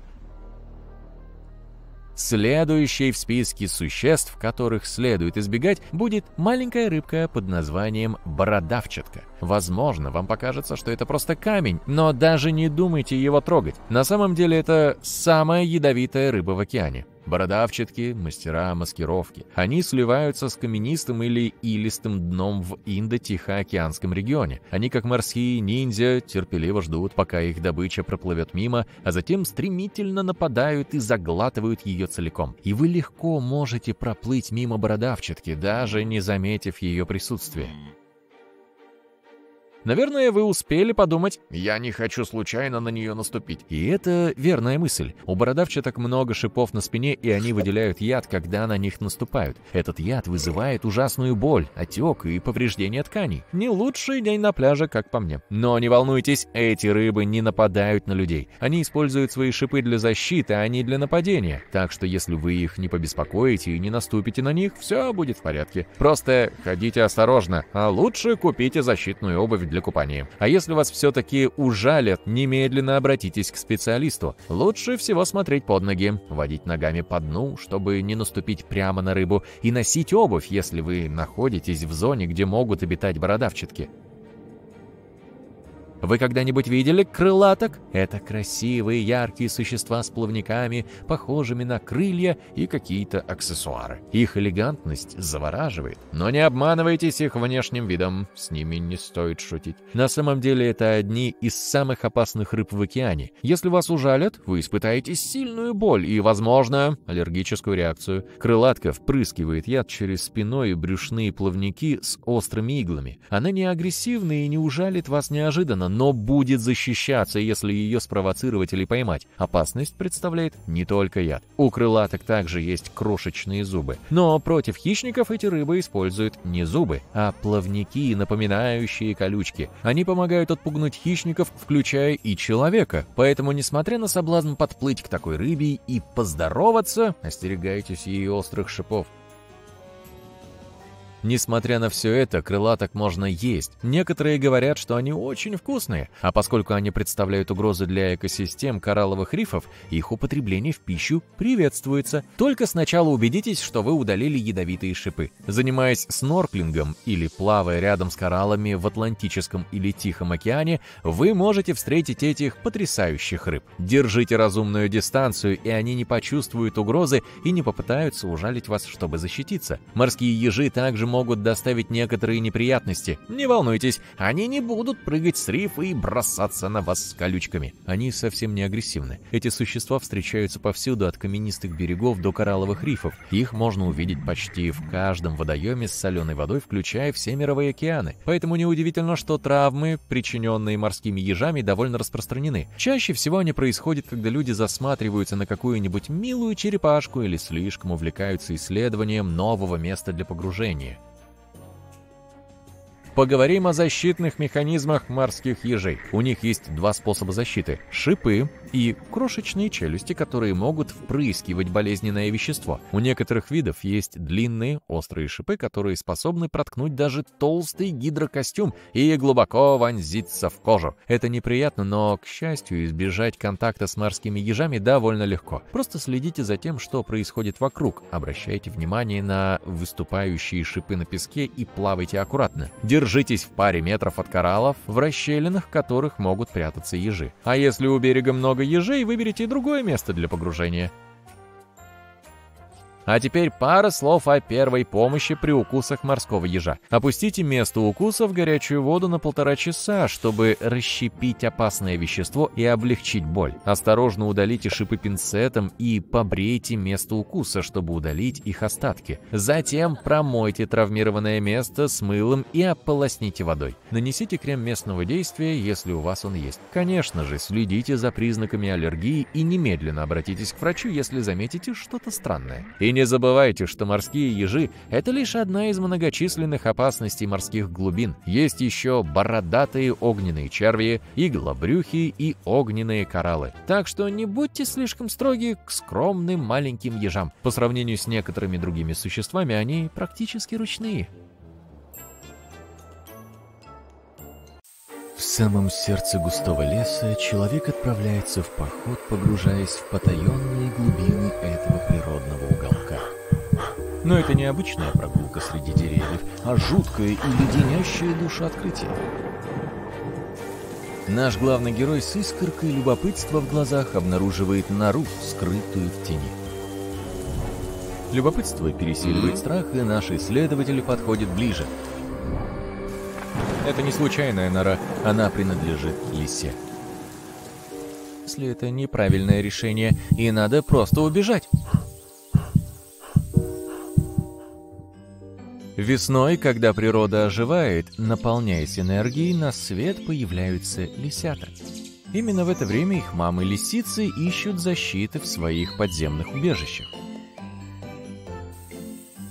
В остальное время года лисы предпочитают греться на солнышке, отдавая предпочтение миру над землей, за исключением тех случаев, когда погода меняется в худшую сторону.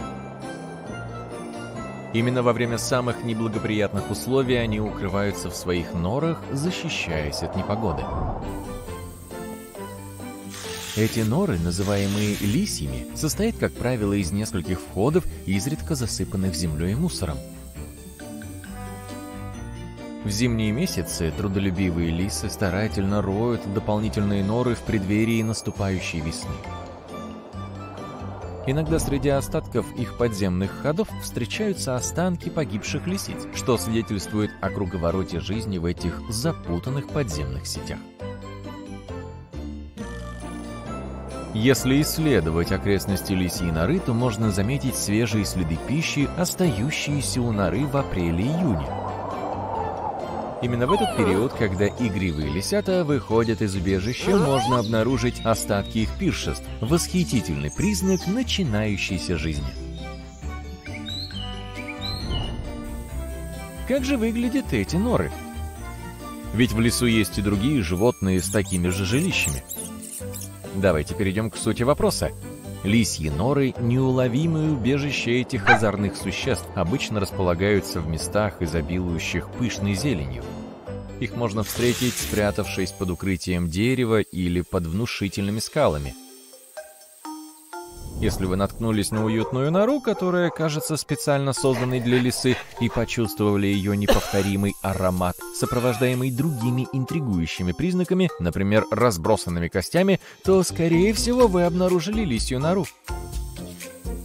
Увы, мой любопытный друг, не существует надежного рецепта того, где эти хитрые лисы предпочитают устраивать свои норы. Они обладают удивительной способностью приспосабливаться к самым разным условиям. Будь то открытые луга, густые леса или даже неумолимая тундра – Представьте себе, что нора лисы состоит как минимум из 4-5 секций. Это парадный вход, пандус, само логово и потайная комната, служащая тайником для хранения продуктов. В зависимости от размера стаи могут быть предусмотрены дополнительные помещения для размещения целой банды лисиц. А теперь представьте себе торжественное открытие лисьей норы. Вход и пандус образуют коридор, уходящий вглубь земли на 1-2,5 метра и соединяющий внешний мир с уютным убежищем внутри. Но это еще не все. Лисицы, будучи хитрыми и запасливыми животными, складируют добытые сокровища в норах. Да, у них есть тайники, куда они прячут все свои аппетитные находки. Количество комнат в норе может варьироваться в зависимости от размера стаи, ведь эти умные существа заботятся о том, чтобы в норе было достаточно места для рождения и воспитания очаровательного потомства. Они могут даже рыть дополнительные туннели и делать дополнительные входы, чтобы было удобнее. Теперь поговорим о кулинарных делах лисиц. Лисы – проворные гурманы. Они запасают пищу в больших количествах, чтобы пережить зиму и брачный сезон. Однако это не скряги. Обычно они запасают столько, чтобы хватило на несколько дней, ведь они не каждый день лакомятся свежей добычей. Их кладовые часто украшают ягоды и фрукты, а центральное место в них обычно занимает любое деликатесное мясо. Интересно, насколько близко друг к другу расположены лисьи норы? Если Земля изобилует пищей и пресной водой, то в радиусе 26 квадратных километров вы можете наткнуться на 2-3 лисьи норы. Если же ресурсы скудны, о, возможно, придется расширить поиск до 52 квадратных километров, чтобы найти всего одну нору. Но на этом история не заканчивается. Лисы, как и подобает их находчивой натуре, часто имеют несколько нор. Основную нору, часто называемую родовой, они хранят из сентиментальных чувств. Кроме того, они держат запасную нору на случай непредсказуемых обстоятельств.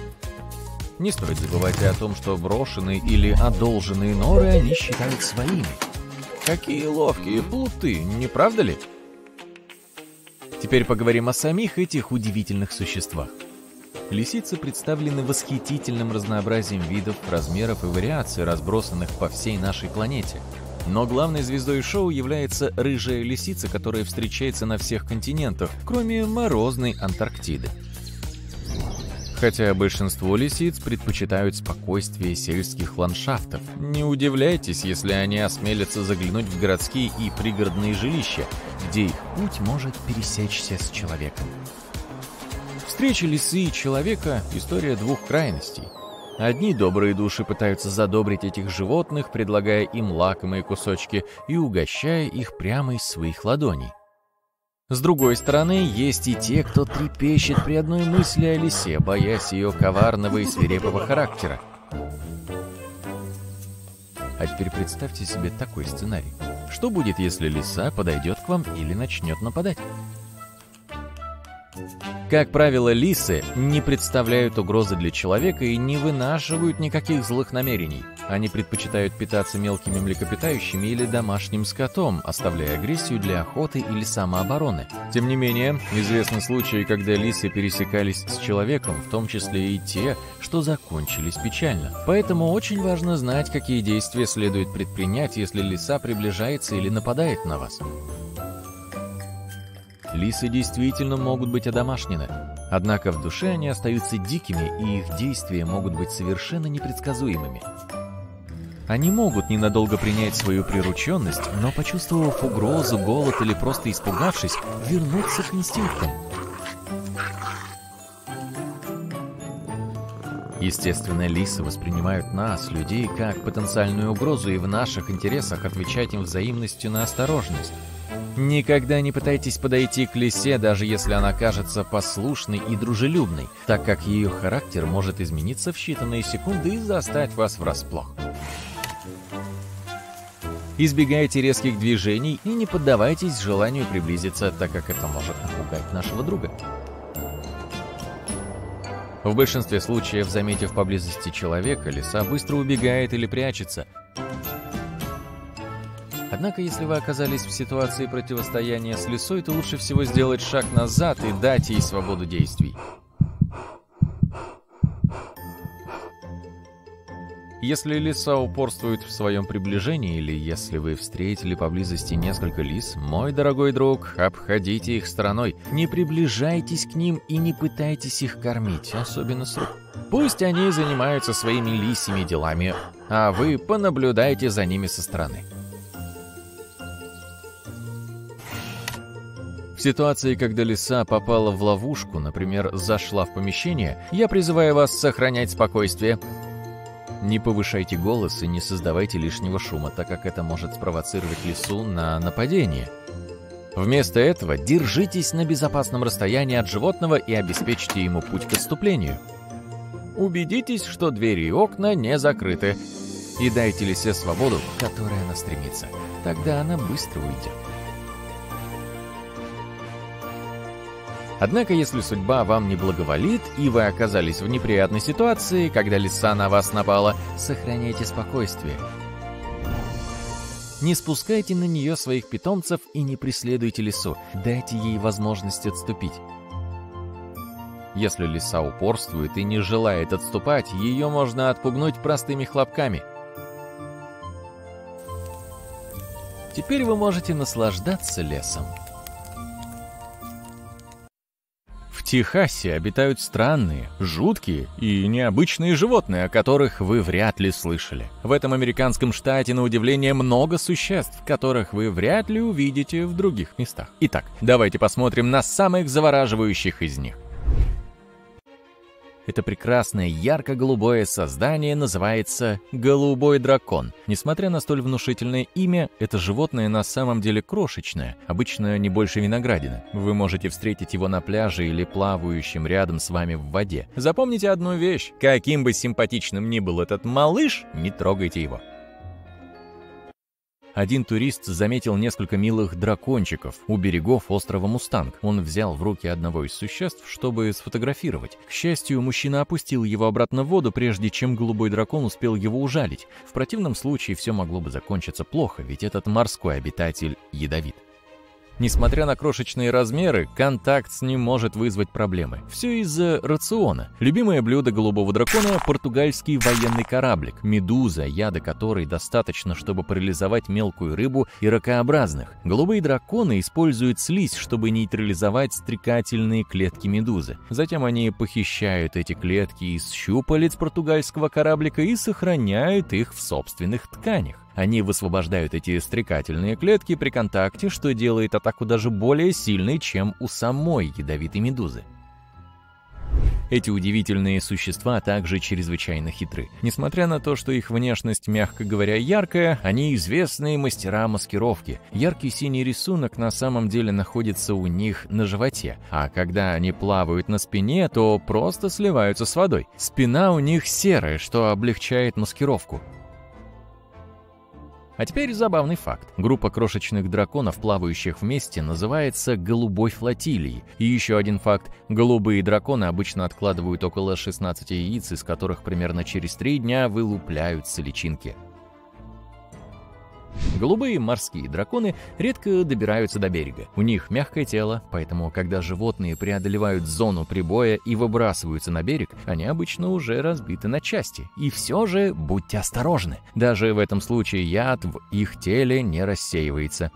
Конечно, голубые морские драконы не единственные необычные животные, обитающие в Техасе. Взгляните на это кошмарное создание, ядовитое, склизкое и вроде как бессмертное. Знакомьтесь, молотоголовый червь.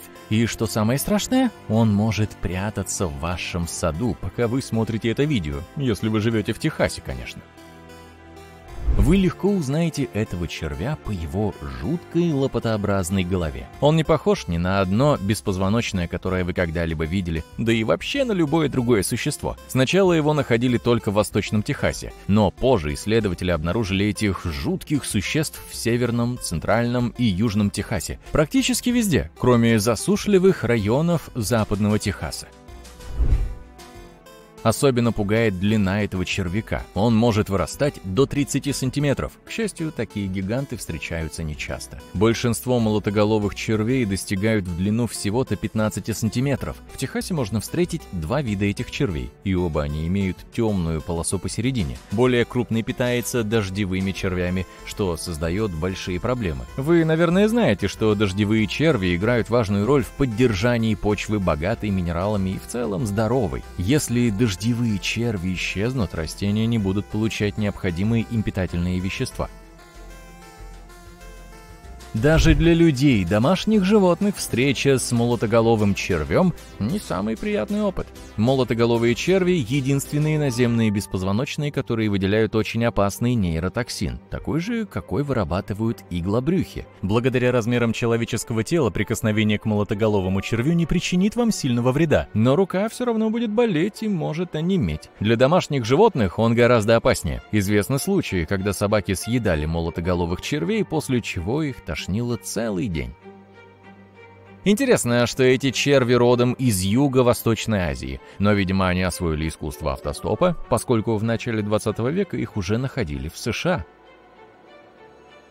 Имейте в виду, что если вы хотите избавиться от молотоголового червя, а это вполне объяснимо, худшее, что вы можете сделать, это разрубить его лопатой. Плоские черви размножаются, разрывая себя пополам, поэтому, разрезая его, вы фактически помогаете популяции червей, превращая одного червяка в двух. Именно по этой причине молотоголовых червей иногда называют бессмертными. Это, конечно, преувеличение, потому что они не переносят ни уксуса, ни соли, даже если в Западном Техасе вы защищены от молотоголового червя, это не значит, что вы не можете встретить других опасных животных. Например, адского сухопутного омара. По-научному эти существа называются телефоны. И это не рукообразные, а паукообразные. Кто бы мог подумать? В любом случае, у этих восьминогих созданий очень неприятный укус, но это не самое страшное. Телефоны брызгают из своих хвостов 85% кислотой, похожей на уксус. В основном они делают это, чтобы защитить себя, но все равно звучит недружелюбно, верно? Сухопутный омар также может прищемить своими тяжелыми ротовыми челюстями палец, который оказался слишком близко. У основания брюшка сухопутного омара имеются длинные хвосты, похожие на хлысты, поэтому этих паукообразных часто относят к скорпионам, хотя они не связаны родством и не имеют жал. Летние дожди выманивают этих паукообразных из нор в поисках пищи и любви. К счастью, эксперты говорят, что сухопутные омары не ядовиты для человека, но они вполне могут поранить вас своими большими клешнями, которыми ловят насекомых. Телефонов можно считать полезными, поскольку они питаются многоножками, сверчками, скорпионами и тараканами. Они охотятся, улавливая вибрации своей добычи с помощью длинных передних лап. Поскольку сухопутные омары предпочитают выходить на поверхность после наступления темноты, вы вряд ли увидите их при свете дня. Но если вы наткнетесь на самку этого вида, то сможете полюбоваться, как она несет детенышей на спине. А теперь представьте, что сейчас середина весны, и вы гуляете среди цветов и зелени. Вдруг вы замечаете на земле нечто крайне странное. Животное выглядит мило, пушистое и мягкое. Желание прикоснуться к нему непреодолимо. Осторожно! Укус волосатой гусеницы может нанести серьезный удар. Это гусеница ночной бабочки, известной как большая гарпия. В Техасе можно встретить несколько видов жалящих гусениц, например, гусеницу оленьей бабочки, шипастого дубового слизня, оседланную гусеницу или гусеницу Сатурнии Ио. Прикосновение к любой из них может привести к неприятным последствиям. Если вы дотронетесь до этого симпатичного создания в парке, то, скорее всего, почувствуете жжение, а потом у вас появится зудящая сыпь. В худшем случае вам даже придется обратиться в отделение неотложной помощи. Основная проблема в том, что люди по-разному реагируют на токсины гусениц. У одних могут развиться более тяжелые реакции, чем у других. Кроме того, тяжесть последствий зависит от толщины кожи на пораженном участке. В большинстве случаев неприятные ощущения и сыпь проходят через несколько часов или дней.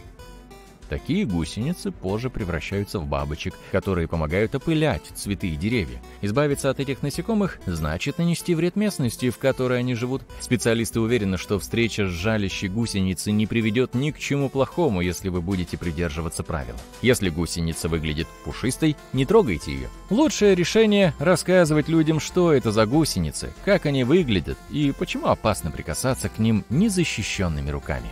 Посмотрите на это милое создание. Оно выглядит совершенно безобидным, но вы должны знать, что внешность обманчива. И синекольчатый осьминог является чрезвычайно ядовитым видом осьминогов. По сути, это один из самых ядовитых видов морских животных в мире. Эти существа обитают в приливных бассейнах и на коралловых рифах. Несмотря на свои небольшие размеры, всего 13-20 сантиметров, они очень опасны для человека, если их спровоцировать. Их яд содержит мощный нейротоксин – тетрадотоксин. Когда животное чувствует опасность, опасность, его первый инстинкт – бегство. Но если угроза сохраняется, например, если вы не отказываетесь от идеи взять осьминога на руки, он переходит в оборонительную позицию и демонстрирует свои синие кольца. Если осьминога загнать в угол и тронуть, он укусит нападающего. И это может закончиться очень плохо. Тетрадотоксин вызывает тяжелые последствия и иногда приводит к полному параличу тела. Жертва полностью осознает окружающую обстановку, но не может двигаться. Пострадавший остается в сознании, но из-за паралича не может подать сигнал сигнал о помощи или сообщить о бедствии. Интересно, что в спокойном состоянии синекольчатый осьминог выглядит коричневым или даже бледным, но как только он чувствует опасность, то переключается на предостерегающую окраску. Такая реакция называется отпугивающим поведением.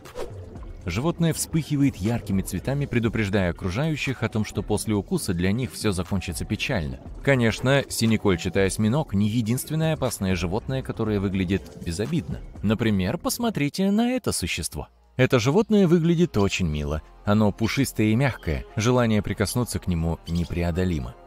Осторожно, укус волосатой гусеницы может нанести серьезный удар. Это гусеница, кошачьи моли или аспид. Среди роскошного меха скрываются ядовитые шипы, снабженные стрекательными клетками, как у медуз. Люди по-разному реагируют на токсины гусениц. У одних реакция может быть более тяжелой, чем у других. Кроме того, тяжесть последствий зависит и от толщины кожи на пораженном участке.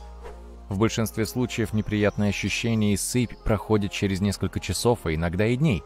Следующее животное в нашем списке – это ядовитая лягушка-дротик. Существует более 170 видов этих лягушек, и, как ни странно, не все из них на самом деле ядовиты. А вот те, что ядовитые, выделяют через кожу чрезвычайно опасные токсины – с другой стороны, лягушки никогда не используют эти токсины для охоты или нападения. Они нужны им только для самообороны. Специалисты предполагают, что способность лягушек вырабатывать эти токсины может быть обусловлена рационом, богатым токсиносодержащими животными, например, многоножками или муравьями. Известно, что коренные народы Центральной и Южной Америки натирали лягушками свои стрелы и дротики, чтобы их наконечник стал отравленным. Главное, что необходимо помнить, если вы дотронулись до лягушки с дротиком, немедленно обратитесь за помощью, особенно если вам попалась золотая лягушка-дротик. Она самая ядовитая.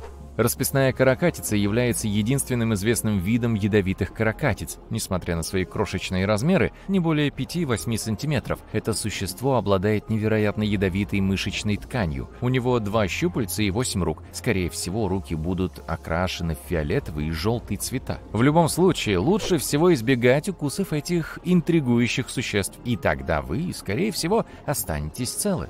Хищные конусные улитки являются очень медлительными животными. Это основная причина того, что у них нет возможности механически захватывать добычу. То есть они не могут схватить животное или укусить его. Вместо этого конусная улитка выработала мощный яд, который помогает ей выжить. Наверное, самое интересное в этих существах то, что среди почти тысячи видов нет ни одного одинакового яда, вырабатываемого каждым из них. Хотя у конусных улиток нет клыков. У них есть покрытый ядом гарпун, которым они жалят свою жертву. На конце ядовитой луковицы находится находится структура, напоминающая трубку, а модифицированный зуб может выстрелить из трубки с умопомрачительной скоростью в 640 км в час. Так что медлительность конусных улиток нисколько не смущает, а поскольку яд присущ только определенным видам, то некоторые из них могут лишь слегка укусить, а другие — нанести серьезный вред здоровью. Например, эта улитка, обитающая в рифах, выпускает похожий на гарпун зуб, чтобы ужалить свою жертву, и от ее яда не существует лекарства. Когда вы думаете об иглобрюхих рыбах, то, вероятно, вероятно, представляете себе раздутое существо с впечатляющими иглами, торчащими по всему периметру их тела. Но под этими забавными шипами скрывается злобное существо, и самая опасная его часть – это яд, который считается одним из самых опасных и сильно действующих в мире, если не самым опасным. Хорошая новость заключается в том, что вы не отравитесь, если не съедите рыбу, так что, возможно, лучше отдавать предпочтение роллам Калифорния.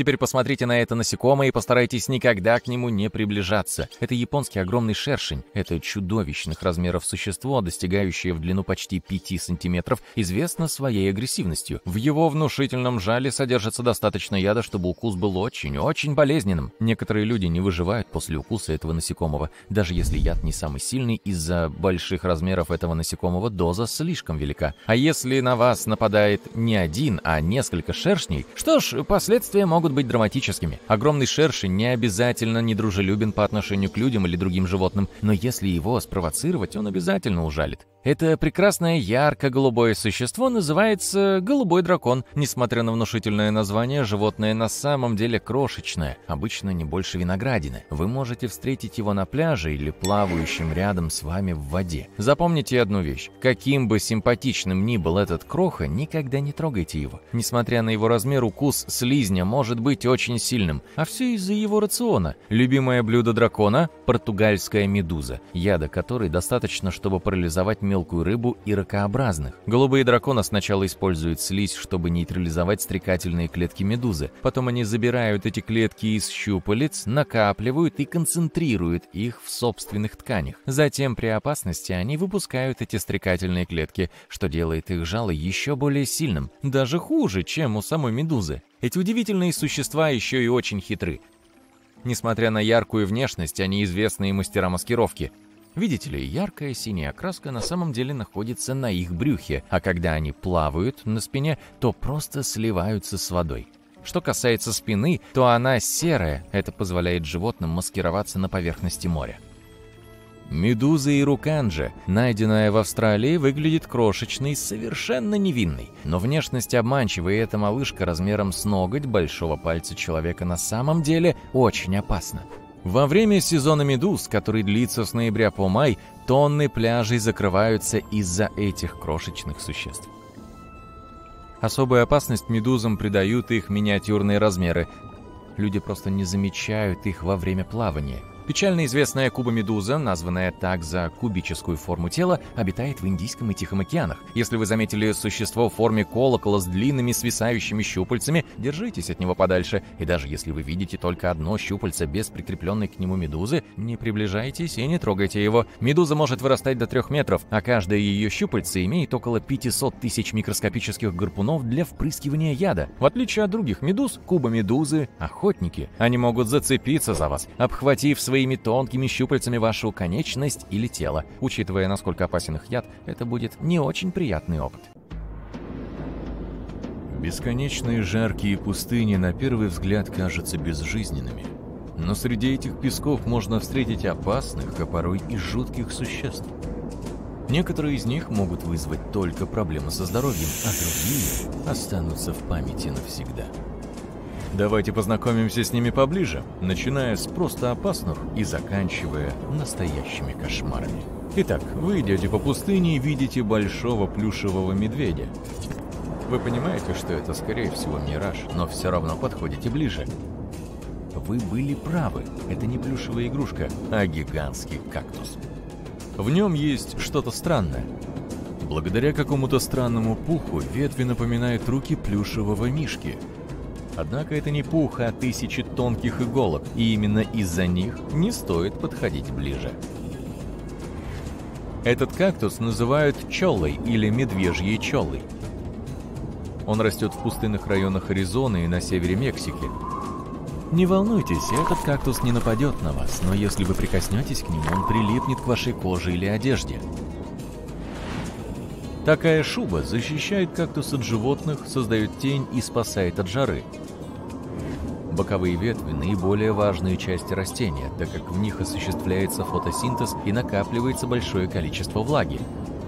Так что, несмотря на всю опасность, кактус может быть полезен для путешественников по пустыне. Опасность представляют иголки. Если присмотреться к ним повнимательнее, то можно увидеть, что они имеют форму крючков. Одно прикосновение и сотни колючек уже впились в палец. Избавиться от них довольно сложно, а сами иголки вызывают неприятные болевые ощущения. Но самое интересное в этом кактусе – способ его размножения. Растение клонирует себя на новом месте. Когда животные и люди проходят мимо прыгающей пчелы и прикасаются к растению, кактус отдает им вместе с иголками маленький кусочек себя. Стоит бросить этот кусочек на землю, как он пускает корни и начинает расти. Степень опасности возрастает. Очередное чудовище из пустыни бежит к нам. И это страус. Многие считают этих животных трусами, прячущими голову в песок. Однако, если вы встретите такое животное, то, скорее всего, измените свое мнение. Обычно страусы не агрессивны, но если вы приблизитесь к их гнезду, то должны как можно скорее уйти. С другой стороны, вы не сможете этого сделать, поскольку страусы передвигаются со скоростью 70 км в час.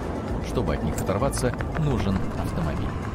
Они бегут и бьют своего врага груди. Известны случаи, когда страусы нападали на фургоны и наносили им значительный ущерб.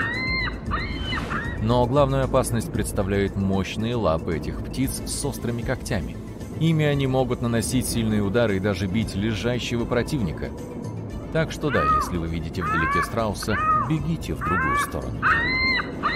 Эта небольшая пятнистая ящерица почти все время живет под землей в засушливых пустынях юго-запада США и северо-запада Мексики. Иногда она выбирается наружу в поисках обеда. Она только кажется симпатичной, но на самом деле это опасный монстр Гила. Толстая кожа защищает рептилию от ястребов, койотов и других хищников. Но главная его защита – это яд. Змеи и пауки вводят свои яды с помощью длинных иглообразных клыков. Монстр Гила зажимает добычу зубами, чтобы распространить яд. А когда ящерица кусает человека, то может долгое время держать челюсти сомкнутыми. Избавление от этого животного – дело непростое. Люди, испытавшие на себе действие яда, говорят, что ощущение такое, будто по венам проходит раскаленная магма. Несмотря на это, ящерица оказалась полезной для науки. Врачи использовали ее яд для создания лекарств от диабета и ожирения. Что ж, вот и пришло время встретиться с одним из самых жутких существ, обитающих в пустыне.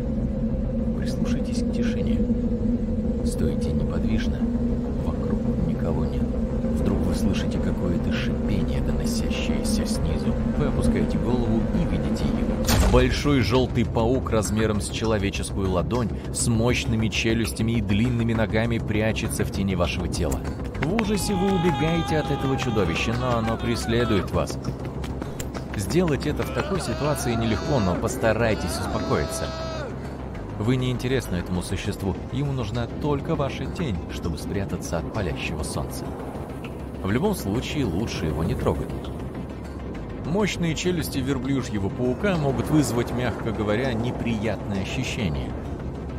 И, кстати, это существо на самом деле не паук. Да, он относится к классу арахнит, но это отдельный вид. Сальпуги. Этот паук любит кусаться. Он бесстрашен, довольно агрессивен и охотится на насекомых, ящериц, грызунов и мелких птиц.